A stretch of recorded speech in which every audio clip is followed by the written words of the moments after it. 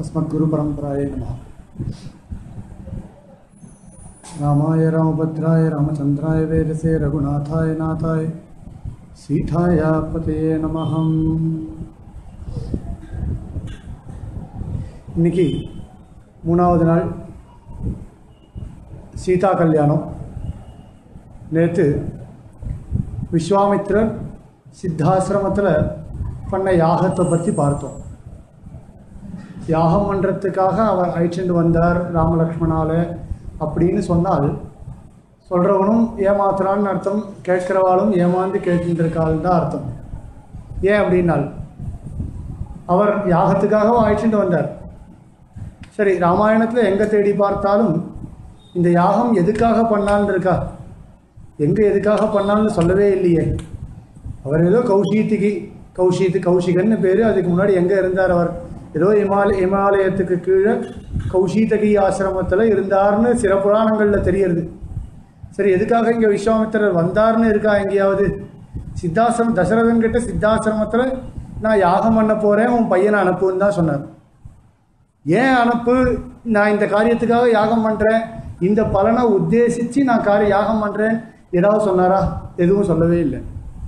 பகீரதன் தபஸ் பண்ணான் கங்கையை அழைச்சிட்டு வந்தால் இப்போ இன்றைக்கே சொல்ல போகிறோம் இந்த கதையை நம்ம பகீரதன் தபஸ் பண்ணது எதுக்காக அப்படின்னும் போது மூதாதையர்கள்லாம் கரையேறதுக்காக தபஸ் பண்ணான் அதே மாதிரி விஸ்வாமித்திரர் தபஸ் பண்ணது எதற்காக அப்படின்னு எங்கேயாவது ராமாயணத்தில் தெரியுறதானா? இல்லை. ஏதோ ஒரு காரணத்துக்காக வந்தார் ராமலக்ஷ்மணால் அழைச்சிட்டு போனார். யாகத்தை யாக சம்ரக்ஷணம் பண்ணி வச்சார். அவராலேயே பண்ணிக்க முடியும். ஆனாலும் ராமலக்ஷ்மணால் அழைச்சிட்டு போய் யாக சம்ரக்ஷணம் பண்ணார். அதுக்கு மேலே ஒரு காரியத்துக்காக அவன் ரெண்டு பேர்கிட்ட கேட்குறார் நேற்று இது பரியந்தம் பார்த்தோம். என்ன இது? இதோடு நான் உங்களை அயோத்திக்கு அழிச்சுட்டு போயிட்டோமா? இல்லை மேலே ஏதாவது சிரேயஸ்கரமான ஏதாவது விஷயத்தை நான் பண்ணட்டுமா அப்படின்னு சொல்லிட்டு. சிரேஷ்டாஸ்மை பிரதாஸ்யாமி இன்னொரு இடத்துல சொல்லியிருக்கா இவனுக்கு இன்னும் சிரேயஸை நான் கொடுக்கணும்னு நினைக்கிறாராம் பெருமாள். பெருமாளுக்கு விஸ்வாமித்திரர் நினைக்கிறாராம். இதோடு இது பண்ணது பத்தாது. பெருமவனா அவன் அவனுடைய வீரத்தை நாம் பார்த்துருக்கலாம். இதுதான் வீரமா? ஒருவனுடைய வீரம் சம்பூர்ணமாக பூர்த்தி ஆகணும்னா ஸ்- ஸ்திரீ இருக்கணுமா? ஸ்திரீ இருந்தால்தான் அவனுடைய வீரமானது சம்பூர்ணமாக பூர்த்தி ஆகுமா வீரலக்ஷ்மியை பார்த்தாச்சு. அதே மாதிரி விஜயலக்ஷ்மியை பார்த்தாச்சு. சாட்சாத் இவனுடைய மகாலட்சுமி ஒருத்தி இருக்காளோ இல்லையோ? அவனை பார்க்கணுமா இல்லையா? அவளையும் பார்த்தால்தானே எடுத்துட்ட காரியம் நிறைவேறும். இவனுக்கு மங்களத்தை கொடுக்கறதுக்காக அழைச்சிட்டு வந்தார் விஸ்வாமித்திர மகரிஷி. இவனுக்கு மங்களத்தை கொடுக்கறதுன்னா என்ன? இந்த பல அதிபலா இந்த மாதிரியான மந்திரங்களை சொல்லி கொடுக்கறது மட்டுமா வெறும் மங்களம்? இல்லை இல்லையா? அவனுடைய மங்களம் எது அப்படின்னா இவனுக்காகவே ஒருத்தி மிதிலா நகரத்தில் இருக்காளே அவளையும் இவனோட சேர்த்து வைக்கிறது தானே மங்களம் உண்டாகும் அப்படின்றதுனால ஸ்ரேயஸ்சாஸ்மை பிரதாசியாமி பகுரூபம் நசம்சயான் பெரியவாள் எல்லாருமே யாராவது ஒரு பெரியவாளை போய் சேவிச்சால் அவள் முதல்ல நம்மளை பார்த்து அங்கே ஆசீர்வதிக்கிற ஒரே வார்த்தை சிரஞ்சீவி ஆயிரு இல்லையா? வாழ்க்கையில் சந்து ஸ்ரேயாம்சி பூயாம்சின்னு சொல்லுவாங்க.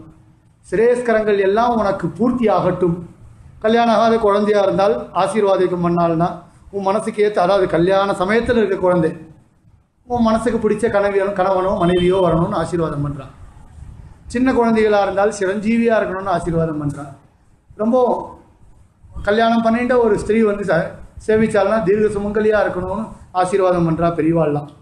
ஏன் இந்த மாதிரிலாம் ஆசீர்வாதம் பண்ணுறா அப்படின்னால் அந்த ஸ்ரீ இருக்கு பாருங்கோ அந்த ஸ்ரீக்கு இருக்க சோபை வேறு யாருக்குமே கிடையாது. ஒரு மனுஷனுக்கு வாழ்க்கையில் பூர்த்தி பூர்ணமான திசை எப்போ வருதுன்னா அவன் கிரகஸ்தாசிரமத்தில் இருக்கிறப்ப தான் வருது. இல்லையா? வேதாந்த தேசிகர்னு ஒருத்தர் நமக்கெல்லாம் தெரியும் பெரிய ஆச்சாரிய புருஷன் அவர். வைஷ்ணவ சம்பிரதாயத்தில் ஒரு பெரிய ஆச்சாரிய புருஷன். அந்த ஆச்சாரிய புருஷனுக்கு சன்னியாச தர்மத்தை ஏற்றுக்கோன்னு சொல்கிறான் எல்லாரும்.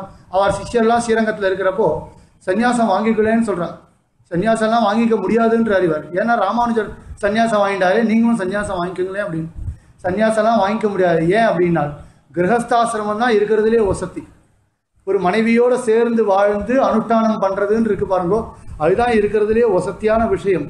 வெறுமை எல்லாராலையும் முடியுன்றதுனால காவி கட்டின்னு போயிட முடியாது இல்லையா? காவி கட்டின்னு போகிறதுன்றது அவ்வளோ சாதாரணமான விஷயமும் கிடையாது. ஆனாலும் எல்லாராலையும் காவி கட்டின்னு போகவும் முடியாது இல்லையா? எது எல்லாராலையும் பூர்ணமாக அனுஷ்டிக்கக்கூடிய தர்மம் எதுனால் ஒரு கிரகஸ்தாசிரமத்தில் ஒரு மனைவியோட சேர்ந்து தர்மம் பண்ணுறது இருக்கு பாருங்கோ அதுதான் உத்தமமான தர்மம்னு பெரியவாள்லாம் அனுசந்தானம் பண்ணியிருக்கா.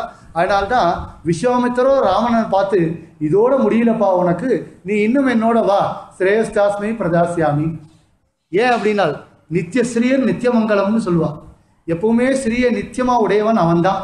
அதனால தான் அன்னைக்கே ஆழ்வார் சொன்ன பாசுரத்தை சொன்ன முதல் நாள் அகலகிலே இறையும் நின் அலர்மேல் மங்கை உரைமார்பன் எப்பொழுதுமே அலர்மேல் மங்கையை திருமார்படியே வச்சிருக்கிறபடினால அவனை பார்த்து தான் சொன்னான் நித்தியஸ்ரீயர் நித்தியமங்கலம் அப்படின்னு. நித்தியஸ்ரீ எல்லாருக்கிட்டையும் அந்த செல்வம் இருந்துராது. க நம் கூடயே இருக்காது. ஆனால் அவனுக்கு அவன் கூடயே இருக்கு செல்வம். அவனை விட்டு விலகவே இல்லை. அப்பேற்பட்ட நித்தியமான ஸ்திரீயை உடையவன். பெருமாளையும் தாயாரையும் சேர்த்து வச்சு அழகு பார்க்கிறோம். அதனால தான் லோகத்துல சீதா கல்யாணம் கோதா கல்யாணம் இந்த மாதிரி கல்யாணங்கள்லாம் பக்தாள் அப்பப்போ நடத்தி பார்க்கிறார் ஏன்? லோகக்ஷேமார்த்தம் நடத்தி பார்க்கிறார் எப்பெல்லாம் இந்த கல்யாணத்தை நடத்தி பார்க்கணும்னு அவளுக்கு எண்ணம் தோன்றதோ அப்பெல்லாம் ஏதோ ஒரு க்ஷேமம் அவளுக்கு ஏற்படுறது. ஆற்றுல கூட வேண்டிக்கிறா தனிப்பட்ட விஷயத்துல கூட. கோவிலில் நான் கல்யாண உற்சவம் நடத்தி பார்க்கிறேன்னு சொல்லி. இல்லையா? அதனால தான் திருமலையில் இன்னி பரியந்தம் பெருமாளுக்கு நாம இன்னைக்கு புக் பண்ணாலும் கூட நாலு வருஷம் அஞ்சு வருஷம் வெயிட் பண்ண வேண்டியது இருக்கு கல்யாண உற்சவம் நடத்துகிறதுக்கு. அவ்வளவு ஃபுல்லா இருக்கு. பக்தாளுக்கு அவ்வளவு எண்ணம் அதிகமா இருக்கு. பெருமாளுக்கு தாயா இருக்கும். கல்யாண உற்சவம் நடத்தி பார்க்கணும்னு. ஏன் இதன் காரணம் அப்படின்னா லோகக்ஷேமம் தான் காரணம். லோகக்ஷேமத்துக்காக பெருமாளையும் தாயாரையும் நாம சேர்த்து வச்சு அழகு பார்க்கணும். எப்பவுமே பெருமாளையும் தாயாரையும் சேர்த்து வச்சு அழகு பார்க்கிற யாராரோ அழகு பார்க்கிறாளோ அவளுக்கெல்லாம் சிரேயஸ் மட்டும்தான் இருந்துட்டு இருக்கு. பெருமாளையும் தாயாரையும் பிரித்து வைக்கணும்னு நினைச்சால் அவளுக்கு ஒண்ணுமே இல்லாமல் நிர்மூலமாக தான் அவள் போயின்னு இருக்கா. நாம புராண கதைகள்ல நிறைய இடங்கள்ல பார்த்துருக்கோம். ராமாயணத்திலே உதாரணம் இருக்கு. ராமனை வச்சுட்டு சீதையை பிரிக்கணும்னு பார்த்தாள் சூர்பனகை அதனால அவன் நிர்மூலமா போனான் சீதையை வச்சுட்டு ராமனை பிரிக்கணும்னு பார்த்தான் ராவணன் அவன் நிர்மூலமா போனான். ராவணனையும் ராமனையும் சீதையும் சேர்த்தே வச்சு பா அழகு பார்க்கணும்னு நினைச்சார் அனுமார். ஆனால் தான் இன்னைக்கு கூட பார்த்தால் சந்து பொந்துலாம் அவருக்கு கோவில் எல்லா இடத்துலையும் இருக்கு. அவர் இன்னைக்கும் சுப்பிரசன்னமா எழுதியிருக்கார். சிரஞ்சீவியா இருக்கார் இல்லையா? அது காரணம் என்ன அப்படின்னால் பெருமாளையும் தாயாரையும் சேர்த்து வச்சு அழகு பார்த்தான் அதனால பெருமாளையும் சேர்த்து வச்சு அழகு பார்த்தால்தான் நமக்கு செல்வம் நிறைந்திருக்கும்னா. ஆனால் தான் திருப்பாவையில கூட நீங்காத செல்வம் நிறைந்துன்னு சொன்னான் ஆண்டாள். ஏன்னா நீங்காத செல்வம் எது அப்படின்னால் பெருமாள் தாயார் சேர்ந்து இருக்கிறது தான் நீங்காத செல்வம். மற்ற செல்வம்லாம் என்னைக்கா இருந்தாலும் நீங்கி போற செல்வம் தான் நம்மளை விட்டு. ஆனால் நீங்காத செல்வம் நித்திய ஸ்ரீ நம்ம கூடவே இருக்கக்கூடிய ஸ்ரீ அந்த செல்வம் எதுன்னா சாட்சாத் மகாலட்சுமி மட்டும்தான். யாதவா யாதவாபீடத்துல சுவாமி தேசிகன் சொல்றார் அவாப்த சோபாம் அதிகாம் முகுந்தகான்னு சொல்றார். கிருஷ்ண பரமாத்மா எப்பவுமே சுந்தரமா தான் இருக்கார் ரொம்ப அழகா தான் இருக்கார். அவரை காட்டிலும் அழகு வேற யாருமே இல்லை கிருஷ்ணரை காட்டிலும் அழகு. ஆனாலும் ருக்மிணி பிராட்டியை கல்யாணம் பண்ணிட்ட பிறகு அவருக்கு இருக்கக்கூடிய அழகு முன்ன இருந்த அழகை காட்டிலும் தனியா தோன்றதா அந்த அளவுக்கு அவாப்த சோபம் யாரால? ருக்மிணி பிராட்டியினால அடையப்பட்ட அந்த அழகானது முகுந்த இடத்துல அதிகமா தெரியறதுன்னு தேசிகன் சொல்றார். ஏன் அப்படின்னா நன்னா பாருங்க ஸ்ரீ கிருஷ்ணனை கல்யாணம் பண்ணிக்கிறதுக்கு ருக்மணியை ருக்மிணியை கல்யாணம் பண்ணிக்கிறதுக்கு முன்னாடி கிருஷ்ணர் இருந்த விதம் வேற விதம். ருக்மிணியை கல்யாணம் பண்ணிட்ட பிறகு கிருஷ்ணர் இருக்கக்கூடிய விதம் வேற விதம். நன்னா பாருங்க. ஒருத்தரை கல்யாணம் பண்ணி இன்னும் ஒருத்தன் அவளை கல்யாணம் பண்ணிக்கிறதுக்காகவே காத்துண்டு கிடக்குறான் இல்லையா? காத்துண்டு கிடக்கிறப்போ காத்திருந்தவன் பொண்டாட்டிய நேத்து வந்தவன் கூட்டுண்டு போனான்ற வார்த்தை இதுல இருந்து தான் வந்தது இல்லையா? ஒருத்தனுக்கு ஜான்வாசமே ஆயிடுச்சு. ஜான்வாசமே ஆகி குலதெய்வம் கோவிலுக்கு போய் பெருமாள் சேவிச்சுட்டு வரத்துக்காக ருக்மணி போறான் இல்லையா? ருக்மணி போன பிறகு அந்த குலதெய்வம் கோவில்ல இருந்தே பொண்ணை தூக்கிட்டார் இல்லையா? குலதெய்வம் கோவில் பெருமாள் சேவிச்சுட்டு வாசல்ல வரும்பொழுது கிருஷ்ணர் என்ன பண்ணார்னா அந்த ருக்மணி பிராட்டி அந்த இடத்துல இருந்தே தூக்கிட்டார். அதனால தான் சிசுபாலன் நூறு வார்த்தை என்னை வெய்யறதுக்கு உனக்கு உரிமை உண்டுன்னு சொன்னார். ஏன் அப்படின்னா ஜான்வாசமே ஆயி இவளைத்தான் நம்ம கல்யாணம் பண்ணிக்க போறோம்னு சொல்லிட்டு அவள் நினைவிலேயே உட்கார்ந்துருக்கிற ஒருத்தனை ராத்திரியோடு ராத்திரியா அவள் குலதெய்வம் கோவிலுக்கு பெருமாள் சேவிச்சுட்டு வரத்துக்கு போனப்போ இவள் அழிச்சுட்டு போயிட்டா இல்லையா? அதனால எப்பேற்பட்ட தப்பு அந்த தப்புன்றபடினால சிசுபாலன் என்ன சொன்னாலும் பொறுத்துன்னு இருந்தார். நூத்தி ஓராவது தப்புக்கும் பொறுத்துன்னு தான் இருந்தார். ஆனால் அவர் பொறுத்திருந்தார தவிர அவருடைய சக்கரம் அவனை சிசுபாலனை போய் கொண்டுட்டு வந்துருச்சு திரும்பி. ஆகையினால அந்த ருக்மிணி பிராட்டிக்கு இருக்கக்கூடிய ஏற்றம் இந்த கிருஷ்ணனை கல்யாணம் பண்ணிட்ட உடனே இந்த கிருஷ்ணனுக்கு அதிகமா தெரிஞ்சுதான் தன்னுடைய அழகு. ஆனால் தான் அவாப்த சோபாம் அதிகாம் முகுந்தகான்னு சொன்னான் அதுவும் யாரா இருக்கட்டும் இப்பேற்பட்ட ஸ்திரீயை சேர்த்து வைக்கிறதுக்காகவே கிருஷ்ணன் விஸ்வாமித்திரர் இந்த மிதிலா நகரம் பிரதி அழிச்சுட்டு போறார். மிதிலா நகரத்துக்கு அழிச்சுட்டு போறார். சித்தாசிரமத்திலேருந்து சீதாசிரமத்திலேருந்து கிளம்ப போறார். நன்னா பார்த்துக்கோ இதுக்கப்புறம் விஸ்வாமித்திரர் எங்க போனாருன்னே தெரியல. சீதா விவாகத்துக்கு அப்புறம் விஸ்வாமித்திரர் எங்க இருக்கார் ராமாயணத்துல? நடுவுல எங்கேயாவது தண்டகாரண்யத்துல போயிட்டு ஏதாவது ராமன் பல ரிஷிகளோட ஆசிரமத்துக்கு போனான்னு இருக்க. எங்கேயாவது ஒரு இடத்துல விஸ்வாமித்திரரோட ஆசிரமத்துக்கு போனான்னு இருக்கா? இல்ல. ஏன்னா சீதாராமனுக்கு பின்னாடி இருக்கக்கூடிய ராமன் வேண்டான்னு நினைச்சிட்டாரோ என்னவோ தெரியல. எப்பவுமே தன் திருமா அதாவது மனசுல சீதாராமனுடைய எண்ணமே இருக்கணும்ன்றபடினால இவா ரெண்டு பேரும் கல்யாணம் பண்ணி வச்சுட்டு அவர் எங்கேயோ போயிட்டார். எங்க போயிட்டாருன்னு தெரியல. எங்கேயோ இமாலயத்துக்கு கீழே கௌஷிதகி ஆசிரமத்துல போய் இருக்காருன்னு தெரியறதை தவிர இவர் போய் சீதா கல்யாணத்துக்கு அப்புறம் இவர் அயோத்தியா காண்டத்துல ஒரு இடத்துல இருந்தாருனோ ஆரண்ய காண்டத்துல ஒரு இடத்துல இருந்தாருனோ யுத்த காண்டத்துல ராவண வயத்துக்கு அப்புறம் மறுபடியும் வந்தாருனோ எங்கேயுமே தெரியல. சீதாவுக்கும் ராமனுக்கும் விவாகம் ஆச்சு. அதுக்கப்புறம் தசரதன் வந்து அழைச்சிட்டு போனான் மா பையனையும் மாட்டு பொண்ணையும். அதுக்கப்புறம் இவா எங்க போனாருன்னே தெரியல. இந்த விஸ்வாமித்திரர் திரும்பி அயோத்திக்கு வந்தாருன்னு கூட இல்லை. கொண்டு வந்து மாப்பிளையும் பொண்ணையும் விட்டாருன்னு கூட இல்லை. அந்த அளவுக்கு எதுக்காக வந்தாருன்னா இங்க புரியறது நமக்கு பெருமாளையும் தாயாரையும் சேர்த்து வைக்கிறதுக்காகவே வந்தார். இந்த சித்தாசிரமத்தில் யாகம் பண்ணதுன்றதுலாம் சும்மா. ஒரு ஔபச்சாரிக்கம் ஔபச்சாரிக்கம்னு என்ன? இதை சேர்த்து வைக்கிறதுக்காக ஏற்பட்ட ஒரு கிரியை. யாரை சேர்த்து வைக்கிறதுக்காக? பெருமாளையும் தாயாரும் சேர்த்து வைக்கிறதுக்கு ஒரு முடி ஒரு விஷயம் தேடினார். என்ன கிடைக்கும் பெருமாளையும் தாயாரையும் சேர்த்து வைக்கிறதுக்குன்னு பார்த்தார். சித்தாசிரமத்தில் வந்து ஆறு நாள் யாகம் பண்ணாள். அந்த யாகத்தை காப்பாற்றுறதுக்காக ரட்சித்து கொடுக்க சொல்லி வரத்துக்காக ராமன் வருவான். அப்படி ராமன் வரச்சேவே மிதிலா நகரத்திலேருந்து ஒரு ஒற்றன் வந்து ஒரு செய்தி அனுப்புவான். அந்த செய்தியை கொண்டு நம்ம மிதிலா நகருக்கு போய் சீத்தையும் ராமனையும் சேர்த்து வச்சுடலாம். அப்படின்னு சீதாராமனா பார்க்கறதுக்கோசரம் இவர் எங்கேருந்தோ வந்தாருன்னு தெரியுது. அப்படி விஸ்வாமித்திரர் சித்தாசிரமத்திலேருந்து ராமனையும் லக்ஷ்மணியும் அழிச்சுண்டு கிளம்புறார். இப்படி அழிச்சுண்டு கிளம்பும் பொழுது அங்கே இருக்கக்கூடிய எல்லா இது பசு பக்ஷி கூட இருந்த ஜந்துக்கள் அதே மாதிரி அங்கே இருக்கக்கூடிய ரிஷிகள் எல்லாருமே விஸ்வாமித்திரனுடைய கிளம்ப ஆசைப்படுறாங்க. இதோடு நாங்கள் இங்கே இருக்க முடியாது. ஏன்னா இவர் ஒரு ஒரு ஒரு மாதம் காலம் இருந்திருக்காரு அந்த இடத்துல. அந்த ஒரு மாத காலத்திலேயே இவர் அவ்வளோ பிரீத்தி சம்பாதிச்சுட்டார். அந்த இருக்கக்கூடிய ஜந்துக்கள் எல்லாருக்கும். நம்ம மனசுல விஸ்வாமித்திரர்னா என்ன எண்ணம் இருக்கு? விஸ்வாமித்திரர்னா கோபக்காரர். நாம ஏதோ படம் பார்த்துட்டோ இல்ல நாம ஏதோ புத்தகங்கள்லாம் வாசிச்சுட்டோ விஸ்வாமித்திரர்னா எப்படிப்பட்டவர் நாம நினைச்சிட்டு இருக்கோம் அப்படின்னா விஸ்வாமித்திரர்னா எப்படிப்பட்டவர்? சாட்சாத்தா கோபக்காரர். இல்லையா? தான் கோபத்தினால இந்திரனுக்கு எதிராக திருச்செங்கூர் சொர்க்கம்னு ஒரு சொர்க்கத்தையே சிருஷ்டி பண்ணிட்டார். அப்படி இந்த மாதிரி எண்ணங்கள்லாம் தான் அவருக்கு இருக்குன்னு. ஆனால் சில நாட்கள்லயே எல்லா ஜந்துக்களுடைய ஒரு பிரீத்தியும் சம்பாதிக்கக்கூடிய ஒரு சாமர்த்தியம் அவருக்கு இருந்திருக்கு. அப்பேற்பட்ட ரிஷி அந்த ரிஷி. ஏன் அப்படின்னா உலகத்தையே தன் பக்கம் ஆக்கிக்கிறவர் இல்லையா? உலகத்தையே தன் வசப்படுத்துறவர் தானே ரிஷி. ரிஷிகளுக்கு எல்லாருமே வேண்டிவா வேண்டாதவன் யாருமே கிடையாது. எல்லாரும் வேண்டியவா தான். பிரகிருதி எல்லாத்தையும் தன் கூட இருக்க தான் கூட பிறந்தவாளா தான் நினைச்சுப்பா. அதனாலதான் ஒரு நதியை பார்த்து விஸ்வாமித்திரர் சொல்றாரா கௌஷிதகி நதின்னு அதுக்கு பேரே வச்சுட்டார் இவர். ஏன்னா நதிக்கரையில உட்காந்து இவர் தபஸ் பண்றாரா?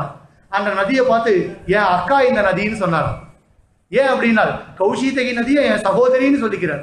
எதனால சொல்லிக்கிறாருன்னா எப்பவுமே இந்த உலகத்தை தன் வசப்படுத்துவா தனக்கு உறவா சேர்த்துப்பா அவாதான் ரிஷிகள். ஏன் அப்படின்னா யாரெல்லாம் இப்படி சேர்த்துக்கிறாளோ அவளுக்கெல்லாம் தான் அனாதேன்ற எண்ணமே வராது. இல்லையா? அப்படிப்பட்ட எண்ணத்தோட இருக்கிறவா தான் மகரிஷிகள்லாம். அப்படி இந்த ரிஷி கிளம்பும் போது விஸ்வாமித்திர கிளம்பும் போது மிருக பக்ஷி சித்தாசிரம நிவாசினா மிருக கணாசைவ மிருகம் மிருகங்கள்னா விலங்குகள். பக்ஷி இந்த பக்ஷி கூட்டங்கள் எல்லாமே இந்த கணாஸ்தைவ இந்த கூட்டங்கள் பசு இந்த பக்ஷி கூட்டங்களோ இந்த விலங்கு கூட்டங்கள் எல்லாமே சித்தாசிரமத்தில் வசித்துக் கொண்டிருக்கக்கூடிய இது எல்லாமே அணுஜக்முகு மகாத்மானம் விஸ்வாமித்ரம் தபோதனம். அனுஜக்முகு பின்தொடர்ந்து சொல்றதா எல்லாமே. எது? அங்க இருக்கக்கூடிய எல்லா ஜீவராசிகளும் விஸ்வாமித்திரர் பின்னாடியே கிளம்பிவிட்டோம் நாங்க இங்க இருக்க மாட்டோம். நீங்க எங்கெல்லாம் போறீங்களோ அங்கெல்லாம் நாங்களும் உங்க பின்னாடியே வரோம்னு சொல்லிட்டோம் உடனே விஸ்வாமித்திரர் சொல்றாராம் வேண்டாம் நீங்க இங்கேயே இருங்கோ. சிங்கத்தை தடவி கொடுத்து சொல்றாராம் புலியை தடவி கொடுத்து ஒரு ஒரு பட்சியும் தடவி கொடுத்துடா. பயப்படாதீங்கோ இனிமே இங்க ராட்சசால் கூட்டம் இருக்காது. ராம ராமன் தன் தன்னுடைய பராக்கிரமத்தினால ராட்சசராலையும் மற்ற ஜந்துக்களையும் தீய ஜந்துக்கள் எல்லாத்தையுமே அவன் போகும்படி பண்ணிவிட்டான். ஆகையினால அவன் அவனுடைய பராக்கிரமத்தின் பேர்ல இந்த வனமானது சுபிக்ஷமா தான் இருக்கும் இன்னில இருந்து அதனால் நீங்கள்லாம் இங்கேயே இருங்கோன்னு சொன்னாங்க. அப்படி இங்கேயே இருங்கோன்னு சொல்லும்பொழுது இவர் கிளம்பி போறார் மேலே மேலே. நடுவில் ஒரு நான்கு நாட்கள் ஐந்து நாட்கள் பிரயாணம் இருக்கு. மிதிலா நகரத்துக்கு அழிச்சுட்டு போறேன்னு சொல்லி சங்கல்பம் பண்ணியாச்சு. மிதிலா நகரத்துக்கு அழிச்சுட்டு போறதுக்காக கிளம்பிட்டார். இவர் இருக்கிறது சித்தாசிரமம். நேற்றே சொன்ன மாதிரி சித்தாசிரமம்ன்றது உத்தரப்பிரதேசில் இருக்கு. இங்கேருந்து கிளம்பி போகணும். மிதிலான்றது அங்கே பாட்னாலேருந்து ஒரு அஞ்சு மணி நேரம் இன்றைக்கும் இருக்குது தர்பங்கான்னு பேர். இன்றைக்கி அந்த மிதிலா தான் தர்பங்கான்னு சொல்கிறான் அந்த தர்பங்கா ஒரு பாட்னாலேருந்து ஒரு ஃபைவ் சிக்ஸ் ஹவர்ஸ் ட்ராவல் பண்ணும்.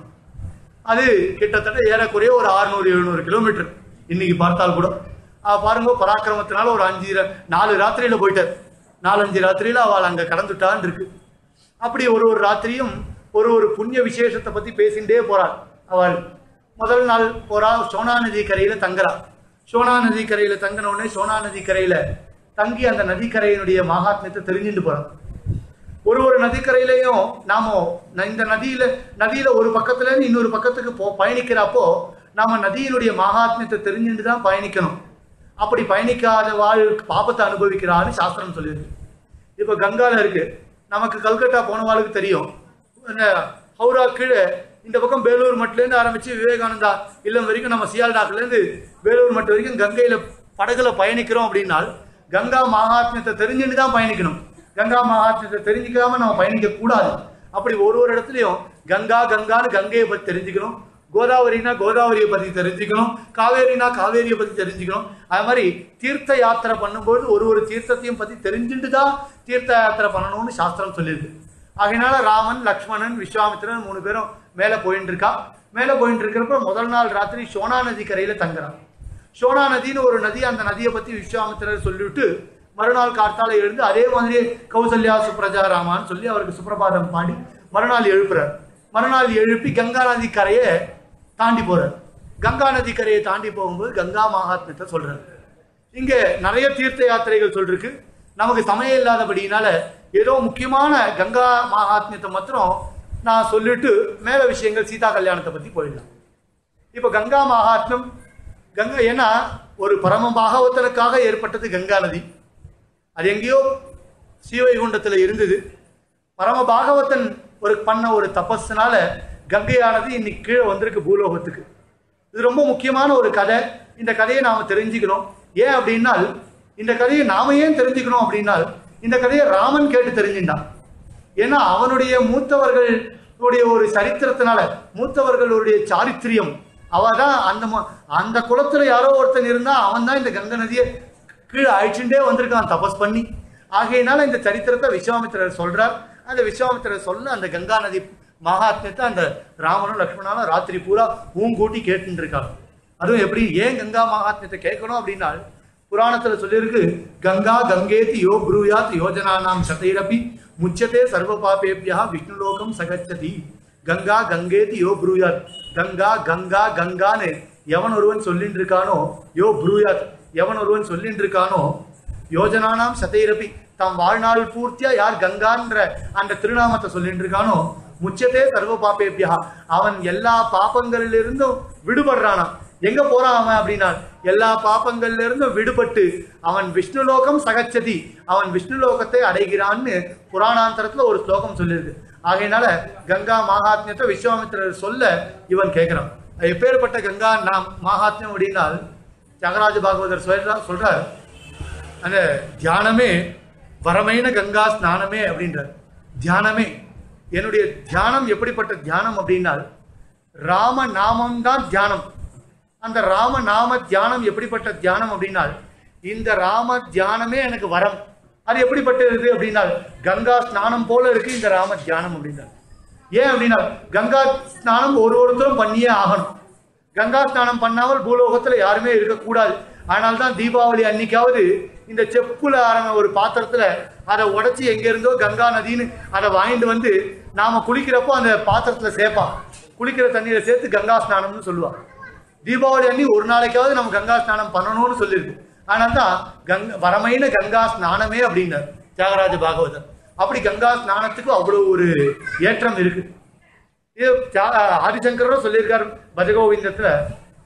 பஜகோவிந்தம் பஜகோவிந்தம் கோவிந்தம் பஜ மூடமத்தேன்னு சொல்லும் பொழுது பகவத்கீதா கிஞ்சித் அதீதா கங்கா ஜலலவ கணிகா பீதா அப்படின்னார். பகவத்கீதா கிஞ்சித் அதீதா. மனுஷனா பிறந்தவன் கண்டிப்பாக பகவத்கீதையில ஒரு ஸ்லோகமாக தெரிஞ்சுக்கணும். கண் கங்கா ஜலலவ கணிகா பீதா. கங்கையினுடைய ஜலத்தை ஒரு சொட்டாவது பருகி இருக்கணும். அப்படி பருகி இருந்தால்தான் அவன் மனுஷன். இல்லைன்னா அவன் பூமியில வாழ்ந்ததுக்கு வாழறதுக்கோ வாழ்ந்ததுக்கோ பிரயோஜனமே இல்லைன்னு சொல்றான். அப்படி வரமன் தியானமே வரமையின கங்கா ஸ்நானமேன்னு சொன்னார். சரி கங்கா நதியை பத்தி சொல்லிட்டு வர. கங்கா நதியை பத்தி சொல்லும் பொழுது கையை கட்டி பவ்யமா கேட்கிறான் எப்படி ஏன் கேட்கறான் அப்படின்னா ஏன்பா இந்த கங்கா நதி மகாத்மியத்தை நீ தெரிஞ்சுக்கோ. தெரிஞ்சுட்டதுனால என்ன பலன்னு நான் சொல்றேன். இந்த கங்கா மகாத்மியத்தை யார் தெரிஞ்சுக்கிறாளோ அந்த கங்கா மகாத்மியத்தை தெரிஞ்சுண்டு அவள் பிரதிதினம் அந்த கங்கா மகாத்மியத்தை ராமாயணத்தில் இருக்க பிரகரணத்தை அவள் வாசித்தால் அவளுடைய பித்ருக்கள் எல்லாரும் சௌக்கியமாக இருப்பான்னு சொல்லியிருக்கு ராமாயணத்திலேயே. அதே மாதிரி நீயும் ராமா இந்த கங்கா மகாத்மியத்தை நீ தெரிஞ்சுக்கோன்னு விஸ்வாமித்திரர் சொல்றார். இப்போ ராமருடைய குலத்தில் முன்னாடி இருந்தவர் ஒருத்தர் பகீரதன்னு சொல்லிட்டு. அவன் பகீரதன்றவன் தான் பயங்கரமான தபஸ் பண்ணி இந்த கங்கா நதியை பூலோகத்துக்கு அழைச்சிட்டு வரான். எப்படி அழைச்சிட்டு வரான் அப்படின்னா இது ஒரு அழகான கதை. பகீரதனுக்கு மூதாதையர் சகர சக்கரவர்த்தின்னு இருந்தார். இந்த சகர சக்கரவர்த்தின்றவர் ஒரு யாகம் பண்றார். அந்த யாகத்துல குதிரை கட்டி இருக்கு இந்த குதிரை கட்டி இருக்கிறப்போ இந்திரன் என்ன பண்ணுன்றான் அந்த குதிரையை அழைச்சிட்டு போய் கபிலருடைய பாதாள லோகத்துல கொண்டு போய் அந்த குதிரையை கட்டி விட்டுறான். எப்பவுமே நல்ல காரியங்கள் பண்ணா இந்திரன் கெடுதல் தான் செய்வான். தாரம தாரக மந்திரம் ஜபிச்சால் மட்டும்தான் ராம ராம ராமன் தாரக மந்திரம் ஜபிச்சால் மட்டும்தான் இந்திரனால ஒன்றும் பண்ண முடியாதுன்னு சாஸ்திரம் சொல்லிருக்கு தபஸ் பண்ணா சில பெண்களை அனுப்பிச்சு தபஸை கெடுப்பா. இல்லையா? விஸ்வாமித்திரர் விஷயத்திலையும் பார்த்துருக்கோம் மத்வா விஷயத்திலையும் பார்த்துருக்கோம். தபஸ் பண்ணால் சில பெண்களை மேனகை ரொம்ப ஊர்வசின்னு சில பெண்களை அனுப்பி தபஸை கெடுத்துருவான். இல்லை யாகம் பண்ணால் குதிரையை அழிச்சுட்டு போயிடுவான்.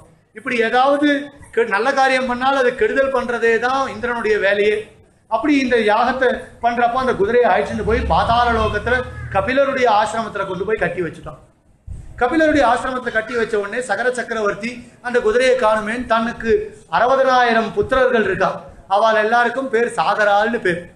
அவளால நிர்மாணம் பண்ணப்பட்டதுதான் சாகரம். சாகரம் அப்படின்னால் சி. இன்னைக்கு இருக்க கடல் இல்லையா? அதுக்கு பேர் சாகரம்னு பேர்.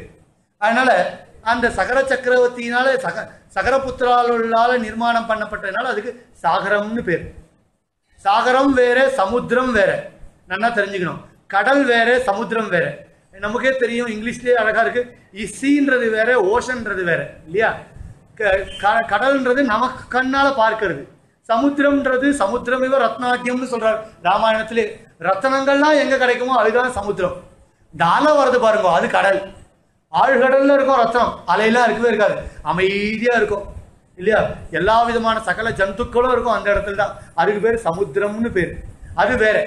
சகா சாகரம்ன்றது வேற. அதனால சக சா- சாகர சக்கரவர்த்தி அதாவது சகரபுத்திரால் நிர்மாணம் பண்ண பிறகுதான் சாகரம் வந்ததுன்னு நினைக்கக்கூடாது. சா- அதுக்கப்புறம் தான் சாகரம் வந்ததுன்னு இல்லை. அதுக்கு முன்னாடியே சாகரம் இருந்தது. இவாள் நம்ம கண்ணுக்கு தெரியிற அலையை இவா ஏற்படுத்தினான் பள்ள நோண்டி கடலை முன்னாடி கொண்டு வந்தா இவாள். அங்கே இருந்து. அதனால இவாளுக்கு சாகரால்னு பேர். சரி இவாள் அறுபதனாயிரம் பேரும் சொல்லி அனுப்புறாள் குதிரையை போய் அழிச்சுட்டு வாங்குவோன்னு அப்பா சொல்றாரு. உடனே குதிரையை போய் அழிச்சுட்டு வரதுக்காக இவ அறுபதனாயிரம் பேரும் போறான் போனால் பாத்தாள் லோகத்துல குதிரை கட்டி போட்டிருக்கு. பாத்தாள் லோகத்துல குதிரை கட்டி போட்ட உடனே பார்க்கிறா அது கபிலருடைய ஆசிரமம். அந்த குதிரையை பார்த்த அந்த குதிரையை பார்த்த அடுத்த க்ஷணம் இவாளுக்கெல்லாம் கோபம் வந்துடுது. கபிலரை மரியாதை இல்லாமல் பேசி விடுறா என்னுடைய குதிரையை இங்கே கட்டி போட்டு வச்சிருக்கீங்களே உங்களுக்கு தெரியலையா? எப்பவுமே யாகம் பண்றப்போ அந்த குதிரையினுடைய நெத்தியில எழுதியிருப்பான். இது இந்த ராஜாவுடைய குதிரை. இந்த ராஜாவோட குதிரையா இருக்கிற அப்படின்னா யார் இந்த குதிரையை பார்த்தாலும் இந்த ராஜாவிடத்துல சேர்த்துட வேண்டியது எழுதியிருப்பான் அந்த குதிரையினுடைய நெத்தியில. அப்படி இருக்கிறப்போ உனக்கு தெரியலையா? நீ வந்து இந்த ராஜ இந்த குதிரையை சேர்க்க வேண்டாமான்னு சொல்லிடுறான் அப்படி சேர்க்க வேண்டாமான்னு சொன்ன உடனே கபிலர் தியானத்திலிருந்து வெளியில வந்து சபிச்சுறார் அறுபதனாயிரம் பேரையும் சபிச்ச உடனே அவரெல்லாம் அந்த ச- அந்த க்ஷணமே பொசி பொசுங்கி போயிடா ச- அந்த சலபங்கங்கள். சலபங்கம்னா விட்டில் பூச்சி. விட்டில் பூச்சி விளக்குல விழுந்து எப்படி அப்படியே பஸ்மம் ஆயிடுமோ அதை மாதிரி இந்த அறுபதனாயிரம் புத்திரர்களோ அப்படியே பஸ்மம் ஆயிட்டான் சகர சக்கரவர்த்திக்கு இன்னொரு ஒரு பையன் இருக்கான். அவனுக்கு அசமஞ்சசன்னு பேரு. அவன் சமஞ்சசமா வாழல லோகத்துல. நல்லவனா வாழல கெட்டவனா வாழ்ந்தான். அதனால சகர சக்கரவர்த்தி என்ன பண்ணா அவனை கா நாடு கடத்திட்டான். நாடு கடத்தின உடனே அவன் வேற ஒரு தேசத்துக்கு போயிட்டான். அவனுக்கு ஒரு பையன் அம்சுமான்னு பேரு. சகர சக்கரவர்த்தியினுடைய பௌத்திரன் பேரன் அவன். தாத்தாவினிடத்துல ரொம்ப பிரீத்தி. அதே மாதிரி பேரன் இடத்துல தாத்தாவுக்கும் ரொம்ப பிரீத்தி. அவனிடத்துல தாத்தா சொல்றார் இதை மாதிரி உங்களுடைய பெரியப்பாக்கள் அறுபதனாயிரம் பேர் இருந்தா அந்த அறுபதனாயிரம் பேரும் போனா குதிரையை தேடின்னு போனா எங்க போனானே தெரியல இவ்வளவு வருஷம் எடுத்து நீ போய் தேடின்னு வான் சரி இந்த அம்சுமான் கிளம்பி போறான். இந்த அம்சுமான் கிளம்பி போன உடனே அந்த இடத்துல போய் பார்க்கிறான் அந்த அறுபதனாயிரம் பேரும் பொஸ்- பொசுங்கி போய் பஸ்மமாக கபிலருடைய ஆசிரமத்தில் இருக்கா. போய் கபிலரை போய் பிரார்த்திக்கிறான் ஸ்தோத்திரம் பண்ணுறான் விழுந்து சேவிக்கிறான். எனக்கு ஏதாவது வழி இருந்தால் சொல்லுங்களேன் நான் அறுபதனாயிரம் பேரும் கரை சேர வேண்டாமா? நான் கைங்கரியங்கள் பண்ண வேண்டாமா? தர்ப்பணங்கள்லாம் பண்ண வேண்டாமா? இந்த அறுபதனாயிரம் பேரும் இங்கேயே பொசுங்கி போயிருக்காளே. இவாளுடைய அஸ்தி எடுத்துன்னு போய் நான் கரைச்சால் தானே நான் தர்ப்பணம் பண்ண முடியும்? அப்படின்னு அம்சுமான் கேட்கிறான் பிரியப்பாங்க விஷயத்தில். அப்போ கபிலர் சந்தோஷப்பட்டு சொல்றார் தேவகங்கை லோகத்துக்கு வந்தால் உன்னுடைய அறுபதனாயிரம் பேரும் மோட்சத்துக்கு போவா அப்படின்னு சொன்னான். உடனே தேவகங்கையை யார் கூட்டிட்டு வருது பூலோகத்துக்கு? சரின்னுட்டு இவன் வந்துட்டான். இவன் வந்தால் இவனால் ராஜ்ய காரியத்தை தான் பார்க்க முடிஞ்சதை தவிர மேலே காரியத்தை பார்க்க முடியல. பித்திருக்களுடைய காரியம் அப்படியே நிற்கிறது யாராலையும் ஒன்றும் பண்ண முடியல. அம்சுமான் சகர சக்கரவர்த்தியும் மேல் லோகத்துக்கு போயிட்டான். கொஞ்ச நாள் ஆச்சு அம்சுமான மேல் லோகத்துக்கு போயிட்டான். அவனுக்கு பையன் அவனுக்கு பையன் அவனுக்கு பையன் எல்லாரும் போயிட்டா. பித்திருக்காரியங்கள் நிறைவேறாமல் அப்படியே நிற்கிறது குலத்துக்கு துர்பிக்ஷமே வந்துடும் போல இருக்கு. அந்த சமயம் பார்த்து பகீரதன் பிறக்கிறான். பகீரதன் பிறந்த உடனே அவன் பார்க்கிறான் பகீரதன் பார்த்துட்டு இதை மாதிரி விஷயத்த அவனுடைய மூதாதையர் மூலமா கேள்விப்படுறான். மூதாதையர் மூலமா கேள்விப்பட்ட உடனே அவன் கேட்டது ஒன்று ராஜ்யத்தை கவனிக்கணும். இல்லை பித்திருக்களை க கரையேற்றணும் ரெண்டுத்துல ஏதாவது ஒன்று தான் பண்ண முடியும்ன்றத முடிவு பண்ணிட்டு ராஜ்யத்தை மந்திரிமார்கள் கிட்ட ஒப்படைச்சுட்டு இவன் பித்திருக்களை கரையேற்றத்துக்காக மேலே போகிறான் மேலே போனவனே கபிலரை போய் பிரார்த்திக்கிறான். கபிலர் சொல்கிறார் பிரம்மாவை குறித்து தபஸ் பண்ணு. பிரம்மாவை குறித்து தபஸ் பண்ணால் கங்காதேவி வருவோம் அப்படி. கட்டுமையா ஒரு கோட்டி தபஸ் யுகங்கள் தபஸ் பண்ணுறான் தபஸ் பண்ணால் சாட்சாத்தா பிரம்மதேவன் எதிர சாட்சாத்கரிக்கிறார். எதிர பிரம்மதேவன் வந்த உடனே என்ன வேணும்னு கேட்கிறார். இது மாதிரி விஷயத்த சொல்கிறார் தேவகங்க பூலோகத்துக்கு வரணும். நீங்கள் தான் அருள் புரியணும். தேவகங்க பூலோகத்துக்கு வரணும்னு பிரம்மா நான் வரம் கொடுத்தேன். எப்பவுமே கேட்டவுடனே கொடுத்துருவார் இல்லையா? வரம் கொடுத்தேன் அப்படின்றார். தேவகங்க பூலோகத்துக்கு வருவான் பிரம்மா சொன்னால் எல்லாரும் கேட்டுருவார். கேட்காதவா? யாருமே இல்லை. கங்கை உடனே நானும் வரேன்னுட்டான் பூலோகத்துக்கு கண்டிப்பாக நான் வரேன் அப்படின்றான் பூலோகத்துக்கு கண்டிப்பாக நான் வரேன்னு சொன்ன உடனேவே அவளுக்கு ஒரு சம்சயம் ஏற்படுது. ஒரு சந்தேகம் இருக்குது ஏன் நான் பூலோகத்துக்கு வரணும்? நான் எவ்வளவு பரம பவித்திரமாக இருக்கேன். இப்பேற்பட்ட பரம பவித்திரமா இருக்கிற இடத்துல நான் இருந்துட்டு இருக்கேன் என்னை போய் பாப்பிகள் இருக்கிற இடத்துக்கு போய் வர சொல்றியே. எல்லாரும் நான் பாட்டுக்கு என்னை யாருமே மதிக்க மாட்டாளே. நான் பாட்டுக்கு பூலோகத்துல நான் பிரவகிச்சுட்டு இருப்பேன் என்னை எவ்வளவு நான் அவமானப்படுத்தணுமோ அவ்வளோ அவமானப்படுத்துவாளே. என்னை போய் தபஸ் பண்ணி அங்க வரத்து கூப்பிடுறியே நான் உனக்கு என்ன கெடுதல் பண்ணேன் அப்படின்னு கேட்கிறான் இல்லையா? நான் பரம பவித்திரமா இருக்கேன் நான். எனக்கு தோஷம்ன்றதே கிடையாது. அந்த மாதிரி இடத்துல இருக்கேன். அதை விட்டுட்டு தோஷமே இருக்கக்கூடிய பூலோகத்துக்கு போய் என்ன வர சொல்றியே நியாயமானு நியாயமான்னு கேட்கிறான் பகீரத்தனை பார்த்து.